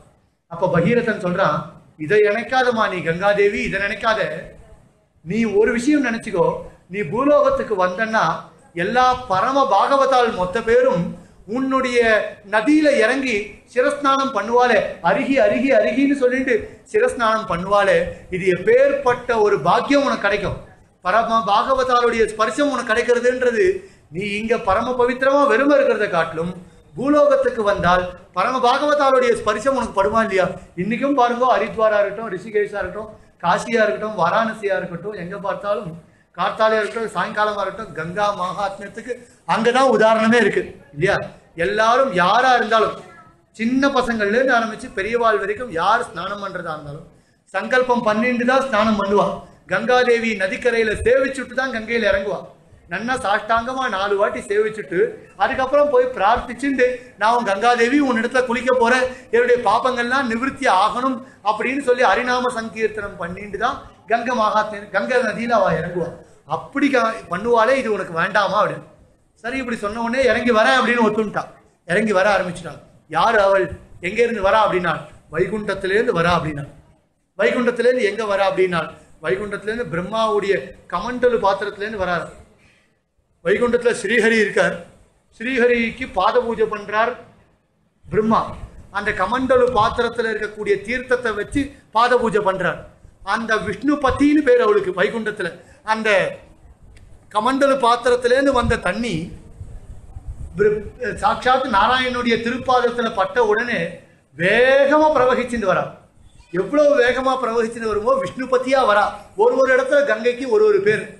வைகுண்டத்தில் அவளுக்கு விஷ்ணு பத்தின்னு பேர். வைகுண்டத்திலேருந்து பிரவகிச்சுட்டு வரா அங்கேருந்து. அப்படி பிர வேகமாக பிரவகிச்சுட்டு வரும் வரும்பொழுது அவளை யாராவது தடுத்து நிறுத்தணுமோ இல்லையோ? அந்த அந்த வேகத்துக்கு பிரதகிச்சால்னா பூலோகமே தாங்காது. அடுத்த க்ஷணம் மொத்தம் முழுகி போயிடும் இல்லையா? அதனால யாராவது தடுத்து நிறுத்தணுமே. யார் தடுத்து நிறுத்துறது அப்படின்னால் ஒரு பாகவதனுக்கு இன்னொரு பரம பாகவதன் சகாயம் பண்றார். யாரு அப்படின்னா சிவன் தன்னுடைய தலையை வைஷ்ணவா நாம் யதா சம்பு இது ஒரு புராணத்துல இருக்கு. வைஷ்ணவா நாம் யதா சம்பு விஷ்ணு பக்தன்ல முதல் பக்தன் யாருன்னா சம்புன்னு சொல்லியிருக்கா வேற ஒரு புராணத்துல. சிவன் தான் முதல் பக்தன். அந்த கங்காதரன் ராம காரியமோ இல்லையோ அதனால கங்காதரன் தலையை கொடுக்கிறார். அதனால தான் கங்காதரன்னு பேர். அப்படி தலையை கொடுக்கிறார். தலையை கொடுத்த உடனே தன்னுடைய சிக்கையில மொத்த பிரவாகத்தையும் உள்ளடக்கி முடிஞ்சு விட்டார். அதுக்கப்புறம் வெளியில வரவே இல்லை. தண்ணி சுத்தமா வெளியிலேயே வரல. அப்படியே முடிஞ்சு விட்டார். சரி முடிஞ்சின்ற உடனே இவர் மறுபடியும் பார்க்கிறார் ப- பகீரதன். எங்க ஜலத்தை காணுமேன் திரும்பி பார்த்தா சிவனுடைய தலையில இருக்கு. மறுபடியும் சிவனை குறித்து தபஸ் பண்றார். சிவனை குறித்து பல ஆயிரம் வருஷங்கள் தபஸ் பண்ண உடனே அவருடைய ஜடாமுடியிலேருந்து ஒரு பக்கம் சின்னதாக ஒரு பக்கம் விலக்கி விடுறாராம். விலக்கி விடுறாரு. அந்த இடத்துக்கு பேர் விலக்கி விட்டவொடனே அந்த இடத்துக்கு பேர் அழகனந்தான்னு பேர். அதனால தான் இன்றைக்கும் பத்ரிகாசிரமம் கேதாரிநாத் இந்த இடத்துலலாம் வந்து அதுக்கு அழகனந்தான்னு பேர். இல்லையா? அந்த இடம்லாம் ரொம்ப கைலாயத்துக்கு விஷ்ணு லோகத்திலேருந்து கைலாயத்துக்கு வந்து கைலாயத்திலேருந்து பத்ரிகாசிரமத்துக்கு வருது கங்கை கண்டிகை இதெல்லாம் போகிற வாழ்க்கை தெரியும். அந்த இடத்துல மேலே மேலே இமாலயத்துலேருந்து வரதெல்லாம் பார்க்குறோம் பார்த்த வாழ்க்கை தெரியும். ஒரு ஒரு இடத்துலையும் அவ்வளோ அழகாக ஓடி வரும் கங்கை. அப்படி அழகனந்தா அழகம்னா கேசம்னு அர்த்தம். அழகம் ஆனந்தயதீதி சிவனுடைய ஒரு கேசத்தை ஆனந்தம் படுத்தபடினால அந்த கங்கைக்கு அந்த இடத்துல அழகனந்தான்னு பேர். அங்கேருந்து பாகீரத்தன்னு வந்து பாகிய அதாவது பத்ரிகாசிரமத்துக்கு வந்தது. பத்ரிகாசிரமத்துலேருந்து கேதாரிநாத்துக்கு வருது அந்த இடத்துக்கு வரும்போது பவித்திரமான சொர்க்க லோகம் அது. ஏன் அது சொர்க்க லோகம் இன்னைக்கு நம்மெல்லாம் போயிட்டு வந்துட்டு இருக்குமே அது எப்படி சொர்க்கமாகும்னா முன்னொரு காலத்தில் அங்கெல்லாம் நம்ம போக முடியாது. அங்கெல்லாம் தேவர்கள் மட்டும்தான் வாழ்ந்திருந்தான்னு குமார சம்பவத்தில் காளிதாசன் சொல்கிறான் அதெல்லாம் தேவலோகமா அது. பத்ரிகாசிரமம் கேதாரிநாத் தான். இன்னைக்கு வேணா நம்ம போயிட்டு வந்துடுறோம். அங்கெல்லாம் சாதாரணமாக மனுஷன் போகவே முடியாது. மனசும் சரீரமும் ஒத்துழைச்சா மட்டும்தான் இன்னைக்கு நம்ம போக முடியும். இன்னைக்கு கூட நாம மே மாசத்துல தான் போக முடியும். அக்ஷய திருத்தியிலேருந்து ஒரு ரெண்டு நாள் கழிச்சு தான் தரப்பா அதுவும் மறுபடியும் அந்த தீபாவளி சேர மூடிடுவாது அந்த ஒரு இடைப்பட்ட ஒரு நாலு மாதம் நம்ம போய் பத்ரிகாசிரமம் கேதார்நாத்லாம் சேவிக்கணும் பெருமாள் சேவிக்கணும்னா நம்முடைய மனசையும் சரீரத்தையும் ஒரு நிலைப்படுத்தி வச்சுக்கணும். யாராக இருந்தாலும் திரும்பி வந்தணுன்ற எண்ணம் தான் இருக்கும். கொஞ்சம் தூரம் போனோன்னு. நன்னா பார்த்துக்கணும் ஹரித்வாரில் ஆரம்பித்து பத்ரிகாசிரமம் போகிறதுக்கு ஏறக்குறைய பதினோரு பதிமூணு மணி நேரம். முந்நூறு கிலோமீட்டர். மலையிலேயே இப்படி இப்படி தான் போகணும். வேற வழியே கிடையாது. பதிமூணு மணி நேரம் அப்படிதான் போகணும். நடுவில் எங்கேயும் நிறுத்த மாட்டான். ஜன்னலில் உட்காந்து இப்படி எட்டி பார்த்தால் கிட்டத்தட்ட பத்தாயிரம் அடி இருக்கும். அடியில் ஓடிட்டு இருக்கும் ஜலம். வேற எதுவுமே கிடையாது. மொத்தமாக பார்த்தா இந்த மாதிரி ரோடெலாம் கிடையாது. இப்படி ஃபெவிகால் ஆட் ஒன்று வரும். இப்படி இப்படி ஆடிண்டே தான் போகும் பஸ்ஸு. அங்கே சாதாரணமாக டிரைவர் நம்ம டிரைவர்லாம் கிடையவே கிடையாது. அங்கே ஓட்டுறதே ஒரு சாமர்த்தியம் இருக்கணும். அப்படி ஓட்டிட்டு போய் பத்ரிகாசிரமத்துல நம்மளை விடுவோம் கேதார்நாத்தில் ஜோஷி மட்டில் விடுவோம் அங்க போய் அப்பாடா உயிர் வந்ததுன்னு இருக்கும் நமக்கு. இல்லையா? ஹரித்வார்ல இருந்து ஆரம்பிச்சு. அப்படியேப்பட்ட இடத்துல கங்கா வரா. அதுக்கு பூமி பாகவதின்னு பேர் அந்த இடத்துல. ஏன்னா பாகவதால் அந்த இடத்துல வருதா? முதல்ல சொர்க்கத்துக்கு வராவும் சொர்க்கத்துக்கு வந்தா சொர்க்கத்துல வந்தவொடனே எல்லாரையும் குறிச்சு மறுபடியும் தபஸ் பண்ணா அவள்லாம் கொஞ்சம் கொஞ்சம் விட்டா எல்லா இடத்துலையும் கொஞ்சம் கொஞ்சம் விடுறா நதியை கங்கா நதியை. நேர பூலோகத்துக்கு வரா. நேர பூலோகத்துக்கு ஹரித்வாருக்கும் கேதாரிநாத்துக்கும் நடுவுல ஓடி வரா. அங்க ஜன்னு மகரிஷி ஆசிரமம் இருக்கு.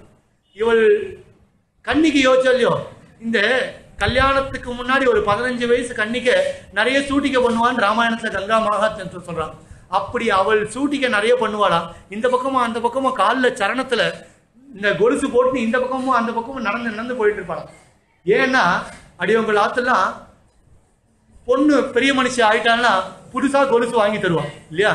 அதுவும் நிறைய சலங்க இருக்க மாதிரி கொலுசு வாங்கி தருவான். அதை ஒரு ரெண்டு மூணு வருஷம் கல்யாணம் ஆன பரியந்தம் ஒரு பதினஞ்சு வயசுலேருந்து ஒரு பதினெட்டு வயசு வரையும் அந்த கொலுசை போட்டுப்பான்.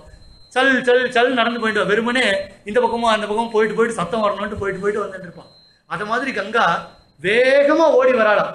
இந்த ஜன்னு மகரிஷி ஆசிரமத்தை பார்த்தாலாம் ஜன்னு மகரிஷி ஆசிரமத்தை பார்க்கும்போது நிறைய குறும்பு பண்ணுவலாவோ? ராமாயணத்தை சொல்கிறான் குறும்பு பண்ணி பார்க்கணும்னு ஆசை வந்துருத்தான். உடனே அந்த ஆசிரமத்தை ஒன்றும் இல்லாமல் அடித்து தூள் கலப்பணும்னு ஒன்றும் இல்லாமல் அடித்து தோ- தூக்குறாளாம் மொத்தத்தையும். அங்கே இருக்க ரிஷிகள்லாம் ஓடுறாளாம். எல்லா யாக யஜ்யங்கள் பண்ணவெல்லாம் மொத்தம் அழிஞ்சு போச்சான் ஜன்னு மகரிஷி பார்த்தாராம். அகஸ்தியருக்கு நான் சலைச்சவனோ? அகஸ்தியர் சமுத்திரத்தையே உள்வாங்கின்றாரே. நான் சலைச்சவனோ? என்னால் கங்கா நதியை உள்வாங்கிக்க முடியாதா அப்படின்னு உனக்கு இவ்வளவு ஆட்டம் போடுறியா? உனக்கு இவ்வளவு திமிர் வந்துருத்தான்னு அப்படி கையில் எடுத்து அச்சுதாய நமகா அப்படின்னு ஆச்சமனம் பண்ணாராம். அச்சுதாய நமகான்னும் பொழுதே முதல் மொத்த கங்கையும் உள்ளே போயிட்டான். ஆனால் அனந்தாய நமஹா கோவிந்தாய நமஹாக்கு ஒன்றும் இல்லவே இல்லை. ஒரே ஒரு உரியிலேயே மொத்த கங்கையும் போயிடுது. வழியே இல்லை திரும்பி பார்க்குறான் வெறும் பாலைவனம் மாதிரி ஒரு ரோடு மட்டும் தான் கங்கா நதியை காணும். பகீரத்துக்கு மறுபடியும் யாரோ கங்கா நதியை முழுங்கிட்டா அப்படின்னு வந்து பார்க்குறான். இந்த ஜன்னு மகரிஷி சாப்பிட்டார் மொத்த கங்கையும் தெரிஞ்சு. மறுபடியும் குறித்து ஜன்னு மகரிஷிகிட்ட போய் பிரார்த்திக்கிறான். மொத்த விஷயத்தையும் சொல்கிறான் எனக்கு நீங்கள் விட்டால் தான் என்னுடைய அறுபதனாயிரம் பெரியவாள் இருக்கா? அவள் எல்லாரையும் கரை சேர்த்தணும் தபஸ் பண்ணுறான் சரி அப்படிதானே? அவருடைய ஜன்னு மகரிஷியினுடைய காது எப்படி ஆட்டுறாரு காது ஆட்டின அந்த காது வழியாக வராள் கங்கை ஜன்னு மகரிஷியோட காது வழியாக வந்ததுனால அவளுக்கு ஜான்னவின்னு பேர். ஜான்னவின்ற பேர். அதனால ஜான்னவி ஓடி வரா. எங்கேருந்து? கேதாரிநாட்டில் ஆரம்பிச்சு இந்த ரிஷிகேஷ் பரியந்தம். ரிஷிகேஷ்லேருந்து ஹரித்வார் பரியந்தம் அவளுக்கு மந்தாகினின்னு பேர். அந்த மந்தாகினியில் அந்த ஹரித்வாருக்கு வந்த பிறகு தான் கங்கான்னு ஒரு பேர். ஏன்னா ஹரித்வார் தான் பூமி ஆறுது. ஹரித்வாருக்கு முன்னாடி இருக்கிறது எல்லாமே தேவலோகத்தை சேர்ந்தது தான் ஹரித்வாருக்கு வரார். அதாவது காங்கா காம்னா பூமின்னு அர்த்தம். காம் காதி இது கங்கா. பூமியை அடைந்தபடியினாலே அவளுக்கு கங்கான்னு பேர். இன்னைக்கும் பார்க்கலாம் ஹரித்வாரில் ஆர்த்தி எடுப்பா சேவிச்சவாளுக்கு தெரியும். இன்னைக்கும் நித்தியம் ஆர்த்தி எடுப்பா சாயங்கால வேலையில கங்கைக்கு. ஏன் அப்படின்னா கங்கைக்கு ஒரு மகாத்மியம். கங்கா தேவிக்கு ஏன்னா முதல் முதல் பூமி ஸ்பர்ஷம் அவளுக்கு அப்பதான் படுறது. அதனால பூமியில வரவேற்கிறா கங்கையை அதனால தான் இன்னைக்கும் ஆர்த்தி எடுக்கிறாங்க. அதுவும் ஹரித்வார்ன்றதே ஒரு பெரிய விஷயம். ஏன்னா சுரானாமப்பி துர்லபம்னு சொல்லியிருக்கான் ஹரித்வார்ல கங்கா ஸ்நானம் யார் பண்றாளோ தேவாலாம் அங்க வந்து காத்து கிடக்கிறாளாம். அந்த கங்கா நதியில ஸ்நானம் பண்றதுக்காக. ஏன் அப்படின்னா ஹரித்வார் ஹரித்வார் யதா யாத்தான்னு சொல்றாங்க. ஹரித்வாரே யதா யாத்தா ஹரித்வார நாம அடைஞ்சு கங்கா ஸ்நானம் பண்ணோம்னா அது தேவாலாம் வந்து காத்து கிடக்கிற பூமி தேவா சுரானாமப்பி துர்பல துர்லபம். தேவர்களுக்கே கிடைக்காது. அதனால ஹரித்வாரில் நீங்கள் வந்து ஸ்நானம் பண்ணுங்கோன்னு பெரியவாள் சொல்லியிருக்கான். அப்படி ஹரித்வார் ஏன்னா இன்றைக்கும் இந்த மே மாதத்தில் போய் ஹரித்வாரில் தீர்த்தாமான்னா அவ்வளோ ஆனந்தமாக இருக்கும். அப்படி குளிரும் இருக்காது. அதே மாதிரி வெயிலும் தெரியாது.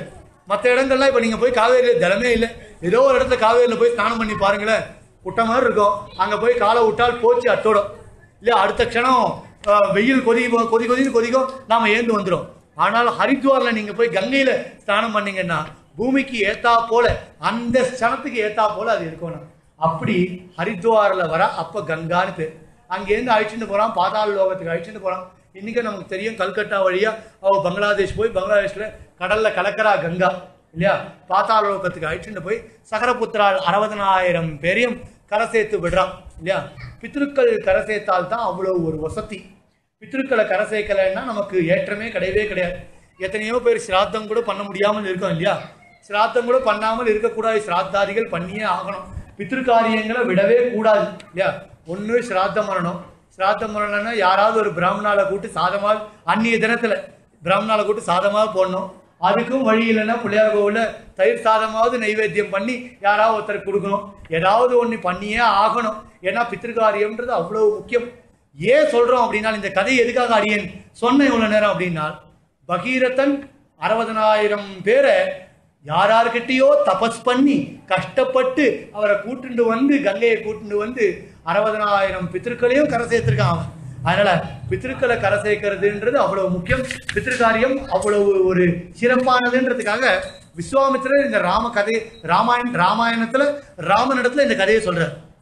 உடனே ராமன் கேட்டுருந்தான் இருந்தான் கதையை. ஏன் அப்படின்னா தன்னுடைய மூதாதையர்கள் இவ்வளவு ஒரு சிரமப்பட்டு தன் காரியத்தை நிறைவேற்றிருக்காளா? அப்படின்ற ஒரு விஷயத்தை ராமன் கேட்டுருந்தான் இருந்தான் ராமன் கேட்டோன்னே கங்கா மகாத்மியத்தை சொன்னார். கங்கா மகாத்மியத்தை சொல்லிட்டு மேலே போகிறார் கங்கா மகாத்மியத்தை முடிஞ்சுது. கங்கா நதி முடிஞ்சுது. அதுக்கப்புறம் சோமவத்தன் ஒரு ராஜா இன்னொரு நாள். சோமவத்தன்ற ஒரு ராஜா இடத்துல போகிறான் அந்த ராஜா ஒரு ராத்திரி தங்குறார். அந்த ராஜா எவ்வளவு சிசுரூஷை பண்ண முடியுமோ அந்த ஆதித்யம் அதாவது கெஸ்ட்டுக்கு உண்டான சிசுரூஷைகள் எல்லாத்தையுமே பண்றார். சோமவத்தன்ற ராஜா விஸ்வாமித்திரர் ராமன் லக்ஷ்மணன் எல்லாரும் அந்த ராஜா கொடுத்த ஒரு ஆதித்யத்தை ஏத்துண்டு மொத்தத்தையும் அவ கொடுத்த கௌரவங்கள் பூர்த்தியாக ஏத்துண்டு மேலே போறான். மேலே போன உடனே அங்கேருந்து போறார். அங்கே ஒரு மிதிலை நகரத்தை அடையிறான். மிதிலை நகரத்தை அடையறதுக்கு முன்னாடி அங்க ஒரு ஆசிரமம் இருக்கு. எப்பேற்பட்ட ஆசிரமம் அப்படின்னால் சாட்சாத்து அந்த ஆசிரமம்ன்றது கௌதம ஆசிரமம் அந்த கௌதம ஆசிரமத்தில் ராமன் பார்க்கிறார். இன்னைக்கு பார்த்தாலும் இந்த ஆசிரமம் ஒன்று இல்லாமல் நிர்மூலமா போன மாதிரி தோன்றது. ஆனால் இந்த ஆசிரமம் பல வருஷங்களாக பல யுகங்களாக சுபிக்ஷமா இருந்த ஆசிரமம். பழைய பல ப- நிறைய யாக யஜ்ஞாதிகள் நடந்திருக்கு இந்த ஆசிரமத்துல. சாதாரணமா இல்லை. பல முனிவர்கள் தபஸ் பண்ணியிருக்கா இந்த ஆசிரமத்துல. பல தர்ம பத்தினிகள் பல பதிவிரத்தைகள் அந்த ரிஷிகளுடைய பதிவிரத்தைகள் எவ்வளவு கைங்கரியங்கள் செய்ய முடியுமோ ரிஷிகளுக்கு அவ்வளவு கைங்கரியங்கள் செஞ்சிருக்கா இந்த ஆசிரமத்துல. அப்படி இருக்கிறப்போ இந்த ஆசிரமம் இன்னைக்கு ஒண்ணுமே இல்லாமல் போயிடுத்து. யாரோ ஒரு முனிவருடைய ஆசிரமம் இந்த ஆசிரமம் அவர் விட்டுட்டு போயிட்டாரோ இந்த ஆசிரமத்தை. ஏன் இந்த ஆசிரமம்? பார்க்கறதுக்கே ஒரு கொடுமையா இருக்கு. ஏன் இப்படி இருக்கு அப்படின்னு கேட்குறாரு பார்த்தாலும் இது தெரியலையே இப்படி தெரியலையேன்னு கேட்குறேன் அப்படி தெரியலையேன்னு சொன்ன உடனேவே அந்த ஆசிரமத்தை பார்க்கிறார். ராமனுக்கு ரொம்ப கஷ்டமா போச்சு. என்னென்னவோ எண்ணம் தோன்றது அந்த ஆசிரமத்தை பார்த்து. விஸ்வாமித்திரத்தில் பிரார்த்திக்கிறார். இந்த ஆசிரமம் ஏதோ தோன்றது எனக்கு. இந்த ஆசிரமத்தை பார்த்தால் இந்த ஆசிரமத்தினுடைய ஒரு விஷயத்தை நான் தெரிஞ்சுக்கணும்னு தோன்றது. அதனால எனக்கு சொல்லுங்களேன் அப்படின்றார். விஸ்வாமித்திரர் ஒரு க்ஷணம் மௌனமாக இருந்துட்டு ஹந்த அப்படின்னு சர்க்கத்தை ஆரம்பிக்கிறார் வால்மீகி. ஹந்த அப்படின்னால் கொஞ்சம் இருன்னு அர்த்தம். தமிழில் சொல்கிறோம் இல்லையா? அந்தோ அப்படின்னு ஒரு விஷயம் நம்மளை கேட்டால் அந்தோ பரிதாபம்ன்ற இல்லையா? தெய்வேன துரனுஷ்டிதம். இது ஆசிரமம் எப்படிப்பட்ட ஆசிரமம் தெரியுமா? நீ நினைச்சதெல்லாம் உண்மை. இது தெய்வேன துர துர துரனுஷ்டிதம். இது ஏதோ ஒரு விதிவசத்தினால ஏற்பட்டது தான் இது தெய்வம்னா விதின்னு அர்த்தம். சாதாரணமா இல்லை. இது ஒரு விதிவசத்தினால ஏற்பட்டது இது. ஏன் அப்படின்னா இது சாதாரண ஆசிரமமா இருந்தால் உனக்கு இப்படி தோணியிருக்காது. இந்த ஆசிரமத்தினுடைய சரித்திரத்தை நீ தெரிஞ்சே ஆ- தெரிஞ்சுட்டே ஆகணும். ஏன் தெரிஞ்சுட்டே ஆகணும் அப்படின்னா இந்த ஆசிரமத்தினுடைய சரித்திரத்தை ஒரு குழந்தைகிட்ட சொல்ல முடியாது. என்ன ஆச்சுன்னு சொல்லிட்டு ஒரு குழந்தைகிட்ட சொல்ல வேண்டிய சரித்திரம் இது இல்லை. ஆனாலும் சொல்ல வேண்டிய கட்டாயத்தில் நான் இருக்கேன். ஏன்னால் உன்னால தான் இந்த ஆசிரமத்துக்கு பழைய நிலைமை வரணும்.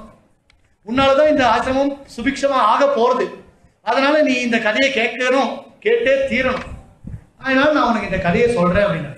நீ நினைச்சது உண்மை. ஏன் அப்படின்னா தேவாலாம் கூட இந்த ஆசிரமத்துல பூஜை பண்ணிட்டு இருந்தா. ஒரு ரிஷி யாகம் பண்ணார்னா தேவன் வந்து ஹவிஸ் வாங்கிப்பான். இல்லையா? ஒரு தேவர்களை குறிச்சு இந்திரா ஸ்வாஹா அப்படின்னா இந்திரன் அந்த அவிசை வாங்கிப்பான். வருணா ஸ்வாஹா அப்படின்னா வருணன் வந்து அந்த அவிசை வாங்கிப்பான். இப்படிதான் ஒரு தேவருக்காக ஒரு ரிஷி யாகம் பண்ணுவார். ஆனால் ஒரு தேவன் வந்து காத்து கிடந்தானா அந்த ஆசிரமத்துல? கையை கட்டிட்டு காத்து கிடந்தானா? பல தேவர்களும் ரிஷியே என்னை பத்தி நீ யாகம் பண்ணு. எனக்கு கொஞ்சம் மோட்சத்தை கொடு. எனக்கு கொஞ்சம் ஒரு கௌரவத்தை கொடு அப்படின்னு சொல்லிட்டு தேவர்கள்லாம் வந்து காத்துட்டு இருந்தாலும் அந்த ஆசிரமத்துல. அப்படியே பட்ட ஆசிரமம். சரி இங்க வேற என்ன ஆச்சு?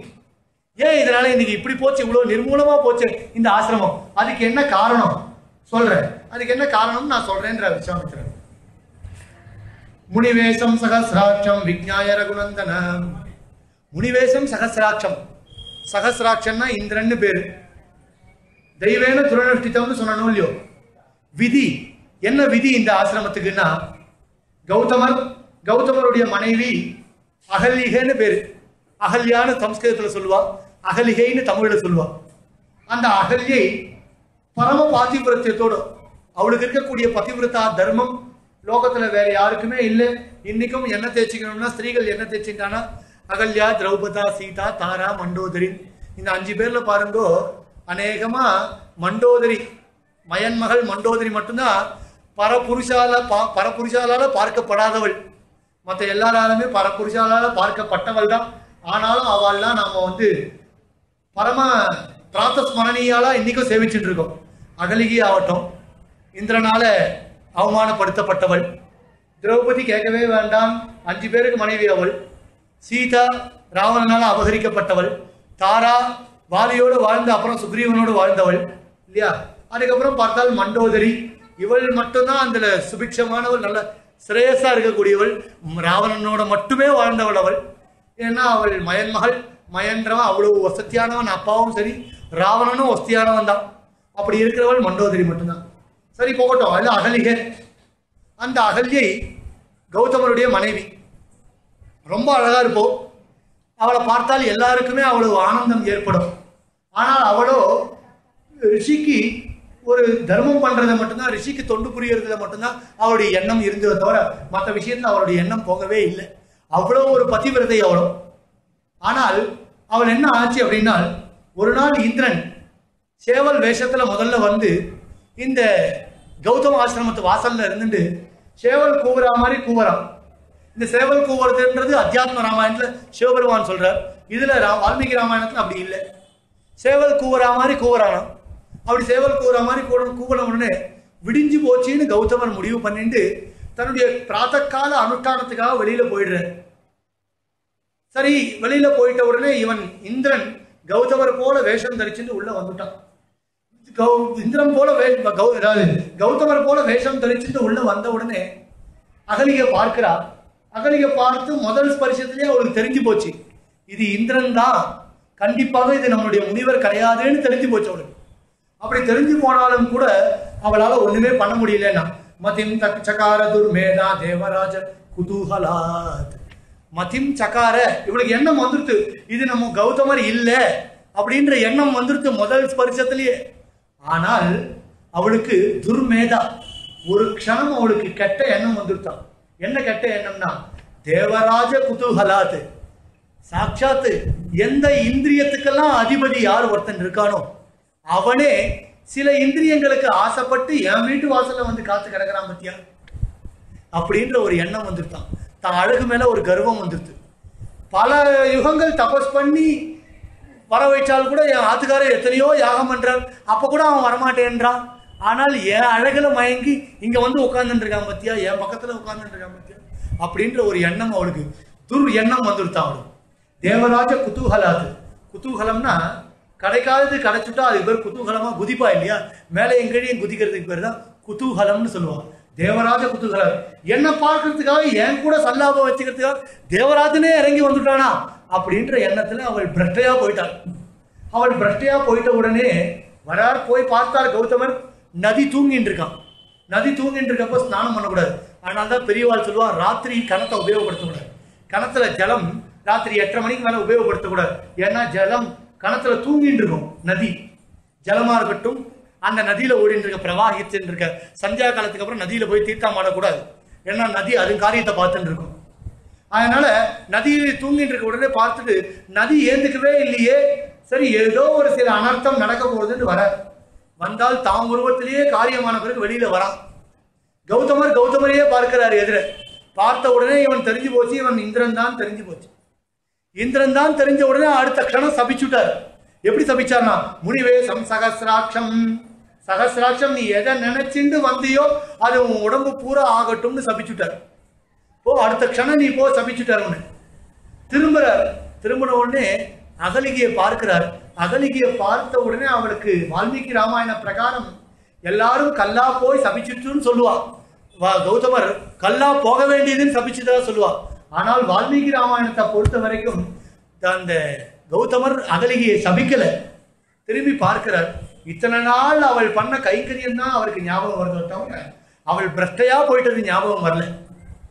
இந்திரனால கெடுக்கப்பட்டவள் அப்படின்னு தோணல அவருக்கு கௌதமருக்கு. எவ்வளவு எனக்கு எவ்வளவு நாள் கைங்கரியம் பண்ணியிருக்கா? இப்போ இப்படி ஆயிட்டாலே நான் பக்கத்துல இல்லாதப்போவே இவள இவ்வளவு கொடுமைப்படுத்தினவன். இவளை விட்டுட்டு நாம அண்ணன்ட்ட போயிட்டோம்னா எவ்வளவு கொடுமைப்படுத்துவாள் இந்திராதி தேவதைகள் இவளை. இல்லையா? மறுபடியும் மறுபடியும் தினந்தோறும் வந்துட்டு இருக்க மாட்டாளா? அதனால இவளுக்கு ஒரு வழி பண்ணணும் அப்படின்னா சசம்பிரமா துவரன் ராம சங்கிதோ கௌதமம் பிரதி. கௌதமம் பிரதி அப்படியே நிக்கிறாளாவோ என்ன பண்றதுன்னே தெரியல இவளுக்கு.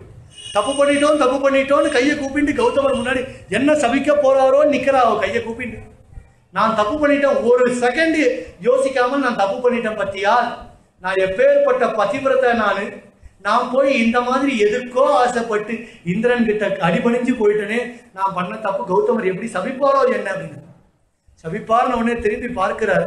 திரும்பி பார்த்த உடனே கௌதமர் சொல்றார் உன்னை நான் சபிக்கலை. நான் உன்னை விட்டுட்டு போயிட போறேன் அது உண்மை. எங்க போக போறேன்? நான் ஹிமாலயத்துக்கு கீழே இருக்கக்கூடிய கௌதமாசிரமத்துக்கு போயிடுறேன். உன்னை நான் விட்டுட்டு தான் போக போறேன். ஆனால் உனக்கு ஒரு வழி ஏற்படுத்திட்டு போறேன். உன்னை பாதுகாப்பா வச்சுட்டு போறேன். என்ன பாதுகாப்பா வச்சுட்டு போறேன் அப்படின்னால் தான் சொல்றார். வருவான் ஒருத்தன் உனக்கு? உனக்கு சாப விமோசனம் நடக்கும். எப்ப நடக்கும் அப்படின்னா அதிர்ஷ்யா சர்வ பூதானா ஆசிரமே அஸ்மின் வசிஷ்யசி. நீ அதிருஷ்யாலா போயிட போற. அதிர்ஷியால்னா கண்ணுக்கு தெரியாம போயிட போறேன்னு சொன்னார். பின்னாடி வியாக்கியானங்கள்ல கல்லா போயிட்டான்னு சதி- சொல்றான். கல்லா போயிட்டான்னா என்ன அர்த்தம்? ஒரு கல்லு மாதிரி இருந்தால்னு அர்த்தம். அதிர்ஷியால் யார் கண்ணிலையும் படாமல் போயிட்டாருன்னு சொன்னான். யார் கண்ணிலையும் படாமல் அதிர்ஷ்யா சர்வபூதானாம். எந்த எல்லா பூதங்கள் கண்ணிலையும் நீ படவே மாட்ட. துவம் ஆசிரமே வசிஷ்யசி. நீ இந்த ஆசிரமத்துல வசிக்க போகிறாய். சரி அப்படியா? நான் அதிர்ஷ்யமா இருந்தால் எனக்கு எப்பதான் சாப விமோச்சனம் எப்பதான் நான் தப் பண்ண தப்புக்கு பிராயஸ்தித்தோம்? சரி அதுக்கு வர வழிக்கு. அதுக்கு நான் சொல்றேன் அப்படின்னா எதா துயே தத் வனம் கோரம் ராமோ தசரதாத்மஜஹம். இந்த கோரமான வனமா ஆயிடுறது இந்த ஆசிரமம் இப்படி இருக்காது. மாறி போய் ஒண்ணுமே இல்லாமல் இந்த ஆசிரமம் ஒரு வனமா நிர்மூலமா போயிடும். அப்படி நிர்மூலமா போன உடனே ராமன் வருவான். யார் அவன்? தசரதாத்மஜன் ராமன் வருவான். பரசுராமன் இல்லை. ராமன் வருவான் உடனே பரசுராமன் வருவான்னு எடுத்துக்கூடாதுன்றதுக்காக தான் வால்மீகி சொன்னார். தசரதாத்மஜன் ராமன் வருவான். தசரதனுக்கு மைந்தனா பிறந்த அந்த ராமன் வருவான். அப்படி ராமன் வந்த உடனே நீ வந்து கண்டிப்பாக இமாம் ஆஸ் இமாம் இமம் ஆசிரமம் உசிருஜ்ய சித்தாச்சரண சேவித்தே இந்த ஆசிரமத்தை விட்டுட்டு நீ என்னுடைய சித்தாசிரமத்துக்கு வருவ. அப்போ வருவ. எப்போ வருவ? ராமன் வருவான். ராமன் வந்த உடனே சாப விமோச்சனை ஏற்படும். அப்போ வருவேன். நான். அன்னியிலேருந்து ராமநாம சங்கீர்த்தனம் பண்ணிண்டே இருக்கலாம் அதிருஷ்யமாக இருந்தாலும் பண்ண தப்புக்கு பிராயசித்தம் எது? தாரக மந்திரத்தை தவிர வேற பிராயசித்தம் கிடையாது. ராமநாம ஜபத்தை தவிர வேற பிராயசித்தம் கிடையவே கிடையாது. போய் ராமேஸ்வரத்துல தீர்த்தாமாட்டு வரதுனாலயோ இல்ல கங்கையில போய் தீர்த்தாமாட்டு வரதுனாலயோ இந்த பாபம் போக போறது இல்லை ராம ராம ராம ராமன் ராமநாம ஸ்மரணத்தை பண்ணிண்டே இருக்கலாம் அப்படி பண்ணிட்டே யாருப்பா ராமானி எப்பப்பா வரப்போற? எப்போ வரையோ சீக்கிரம் வாப்பா. நீ வந்தால் தானப்பா எனக்கு சாப விமோச்சனம் நடக்கும். ராமா ராமா ராமான்னு உட்காந்து எப்படி இருக்கா? அதிருஷ்யமாக. யார் கண்ணிலையும் படாமல் ராமநாம சங்கீர்த்தனம் பண்ணிட்டே இருக்கான் ஆகையினால ஹிமவத் சிகரே ரம்ய தபஸ்தேபே மகா தபா நான் உன்னை விட்டுட்டு ஹிமவத் சிகரே ஹிமாலயத்துக்கு நான் போக போறேன். நான் அங்க போய் இருக்க ரம்யமான தப்போவனத்துல நான் போய் இருக்க போறேன். நீ இங்க மறைஞ்சு போய் ராமனுக்காக காத்துன்று அப்படின்னு சொல்லிட்டு கௌதமர் போயிட்டார். இந்த கதையை விஸ்வாமித்திரர் சொல்ற விஸ்வாமித்திர வச்ச ஸ்ருத்வா. இந்த விஸ்வாமித்திரர் சொன்ன உடனே விஸ்வாமித்திரனுடைய வார்த்தைகள் எல்லாத்தையும் பவ்யமா கேட்கிறார் ராமலக்ஷ்மணன். பவ்யமா கேட்ட உடனே அவள் பார்க்கிறா இங்க எங்கேயோ அதிருஷ்யமாக அகலிகை இருக்கான்னு தெரிஞ்சிட்ட உடனே எப்பேற்பட்ட தர்மச்சாரிணி அவோ அவ இங்க எங்கேயோ அதிருஷ்யமா இருக்காள். நாம பாதத்தை பார்த்து வைக்கணும். ஏன்னா இவனுடைய பாதத்தினால தான் அவ சாப விமோசனமே பெற போறான். ஆனாலும் கூட எப்பேற்பட்ட ஒரு எண்ணம் பாருங்க ராமனுக்கு. பரம பதிவிரத பரம தர்மச்சாரிணி லோகத்துல இருக்கக்கூடிய பெண்கள்லயே முதன்மையான பெண்ணாவும் அவ இங்க எங்கேயோ அது தர்மச்சாரிணியா இருக்கா? எதுக்காக இருக்கா? தனக்காக காத்துட்டு இருக்கான்ற எண்ணம் அவனுக்கு இல்ல. பெரிய மகாகணம் பொருந்திய ஒருத்தி மகிஷி ஒரு ரிஷி பத்தினி ஒருத்தி இருக்கா? அதனால என் கால் பற்ற போடுது அவன் வேலை என் கால் படக்கூடாது அப்படின்னு பாதத்தை பார்த்து பார்த்து வைக்கிறாரா ராமன். விஸ்வாமித்ரவச்ச ஸ்ருத்வா ராகவ சக லக்ஷ்மணா விஸ்வாமித்திரம் புரஸ்கிருத்திய ஆசிரமம் பிரவிவேசா ஆசிரமத்துக்கு உள்ள நுழையிறான். உள்ள நுழையும் போது பார்த்து பார்த்து காலை வைக்கிறான் காலை வச்சா காலை வச்சா அடுத்த க்ஷணம் பல விஷயங்கள் இருக்கு. எல்லா விஷயத்தையும் ஒன்று ஒன்றா தெரிஞ்சுக்கணும் வால்மீகி ராமாயணத்தில் இவனுடைய சுண்டு கல் மாதிரி ஒரு வஸ்து இருந்தது. அந்த வஸ்துவில் இவனுடைய சுண்டு விரல் பட்டுது. இவனுடைய சுண்டு விரல் பட்ட அடுத்த க்ஷணம் அழகான ரிஷி பத்தினி உண்டாயிட்டா அப்படின்னு வால்மீகி ராமாயணம் சிவபெருமான் எப்படி வர்ணிக்கிறார்? இவனுடைய சரம தூளி இவர் நடந்து போனாராம் காத்து அடிக்கிறதாம். இவன் பாதத்துல பட்ட ஒரு தூளி அந்த வஸ்து மேல பட்டுது. உடனே ரிஷி பத்தினி அப்படியே சேவிச்சு நிக்கிறார் அப்படி சேவிச்சு நிக்கிறதா சொன்னார் இவனுடைய பார்வை பட்டதுன்னு ஒரு ராமாயணத்தில் சொல்லிட்டார். ஆனந்தராமன் இவருடைய பார்வை தான் பட்டுதான். அந்த கல்லை உத்து பார்த்தாரா இவர் அந்த வஸ்துவை? அப்படி உத்து பார்த்த உடனே இவனுடைய கடைக்கன் பார்வை பட்ட அடுத்த க்ஷணம். ஏன்னா கௌதமர் அவனுடைய பாதம் படும்னு சொல்லவே இல்லை. இல்லை இல்லையா? பாதம் படும்னு சொல்லியிருந்தால் பாதம் பட்டது. அதனால அவன் பெண்ணா மாறினான்னு சொல்லலாம் ராமன் வருவா அப்படின்னு தானே சொல்லியிருக்காரு. ராமன் வருவா நீ வந்து சாப விமோசனம் அடையாங்க உடனே ராமன் வந்துட்டான் இல்லையா? ராமன் வந்த அடுத்த க்ஷணம் ரிஷிபத்தினியா மாறிட்டான் அவர் மாறிட்டாள் அப்படி உள்ள வந்தாள் உள்ள வந்த அடுத்த க்ஷணம் ரிஷிபத்தினியா மாறின உடனே நிக்கிறாளாவோ அப்படியே பவ்யமா நிக்கிறாளா. ஏன்? பல யுகங்களுக்கு முன்னாடி தன்னுடைய கௌதமர் கணவர் என்னை இப்படி சபிச்சுட்டு போயிட்டார். உனக்காகவே நான் காத்துட்டு இருந்தேன் இவ்வளவு நாள். காத்துட்டு இருக்கிறப்ப எப்படி இப்ப காத்துட்டு இருந்தேன் நானு? ராமா ராமா ராமான்னு உனக்காக காத்துட்டு இருந்தேன் நான் காத்துட்டு இருக்கிறப்ப நீ என்ன காரியம் பண்ற இப்ப நீ? அப்படின்னா ராமன் காரியம் பண்றானா அகலிகையை பார்த்த உடனே விழுந்து சேவிக்கிறான் ராமனும் லக்ஷ்மணன். ஏன் அப்படின்னா அவள் அவர் ரிஷி பத்னி இவா ரெண்டு பேரும் மூணு ரா- ராஜகுமாரா ரிஷி பத்னி ஆசீர்வாதம் இவாளுக்கு வேணும். அந்த பரம பவித்திரியா இருக்கக்கூடிய அந்த அகிலகிய இவன் ரெண்டு பேரும் அம்மாவாவே பாவிச்சுட்டான். சாட்சாத்தா அம்மான்னு நினைச்சுண்டு விழுந்து விழுந்து சேவிக்கிறாளாம் அந்த அகலிகையை. அவ உடனே அகலிகை சொல்றாளாம் நான் உன்னை சேவிக்க வேண்டியிருக்க நீ என்ன சேவிக்கிறியே. நான் உனக்கு சாப விமோச்சனத்தை எனக்கு நீ கொடுத்துருக்க. அந்த சாப விமோச்சனத்தை கொடுத்ததுனால நான் உன்னை சேவிக்கணும். ஆனா நீ என்ன சேவிக்கிறியே. இது நீ- இது எந்த விதத்த நியாயம்? உனக்கு சிசுரூஷ கூட பண்ண முடியாத அளவுக்கு என்னை நிக்க வச்சுட்டியே அப்படின்னு கேட்டாங்க. எங்களுக்கு இது வந்து எண்ணம் இல்லை. ராமன் சொல்றாரு உன்னை பார்க்கணும். சாப விமோச்சனத்தை நான் பண்ணேன்னு நினைக்கிறியா? என்னால உனக்கு சாப விமோச்சனம் ஆச்சுன்னு நினைக்கிறியா?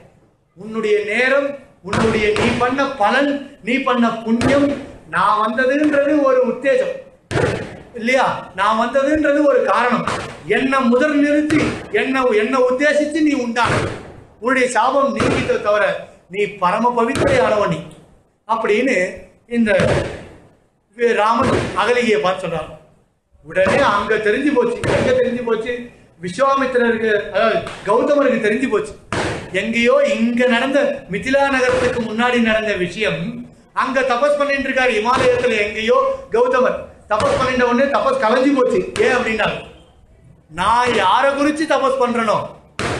எவன் வருவான்னு சொல்லி நான் தபஸ் பண்ணிட்டு இருக்கணும் அவன் வரல என் கண் முன்னாடி. யார் கண் முன்னாடி வந்திருக்கான் என் மனைவி. ஒரு பரம பிரஷ்டையா போயிட்டு அவன் முன்னாடி வந்து நிக்கிறான். இல்லையா? அந்த கோலத்தை நான் போய் பார்க்க வேண்டாமா? அங்க நான் இங்க இப்ப நான் அங்க நிக்க வேண்டாமா? இங்க தபஸ் பண்ணி என்ன பிரயோஜனம்? யார் தபஸ் பண்ணா வருவாளோ அவள் என் மனைவி முன்னாடி நின்று பேசிட்டு இருக்கான் அப்ப அதை நான் பார்க்க வேண்டாமா? அதை பார்க்காம இங்க வந்து நிக்கிறேன்.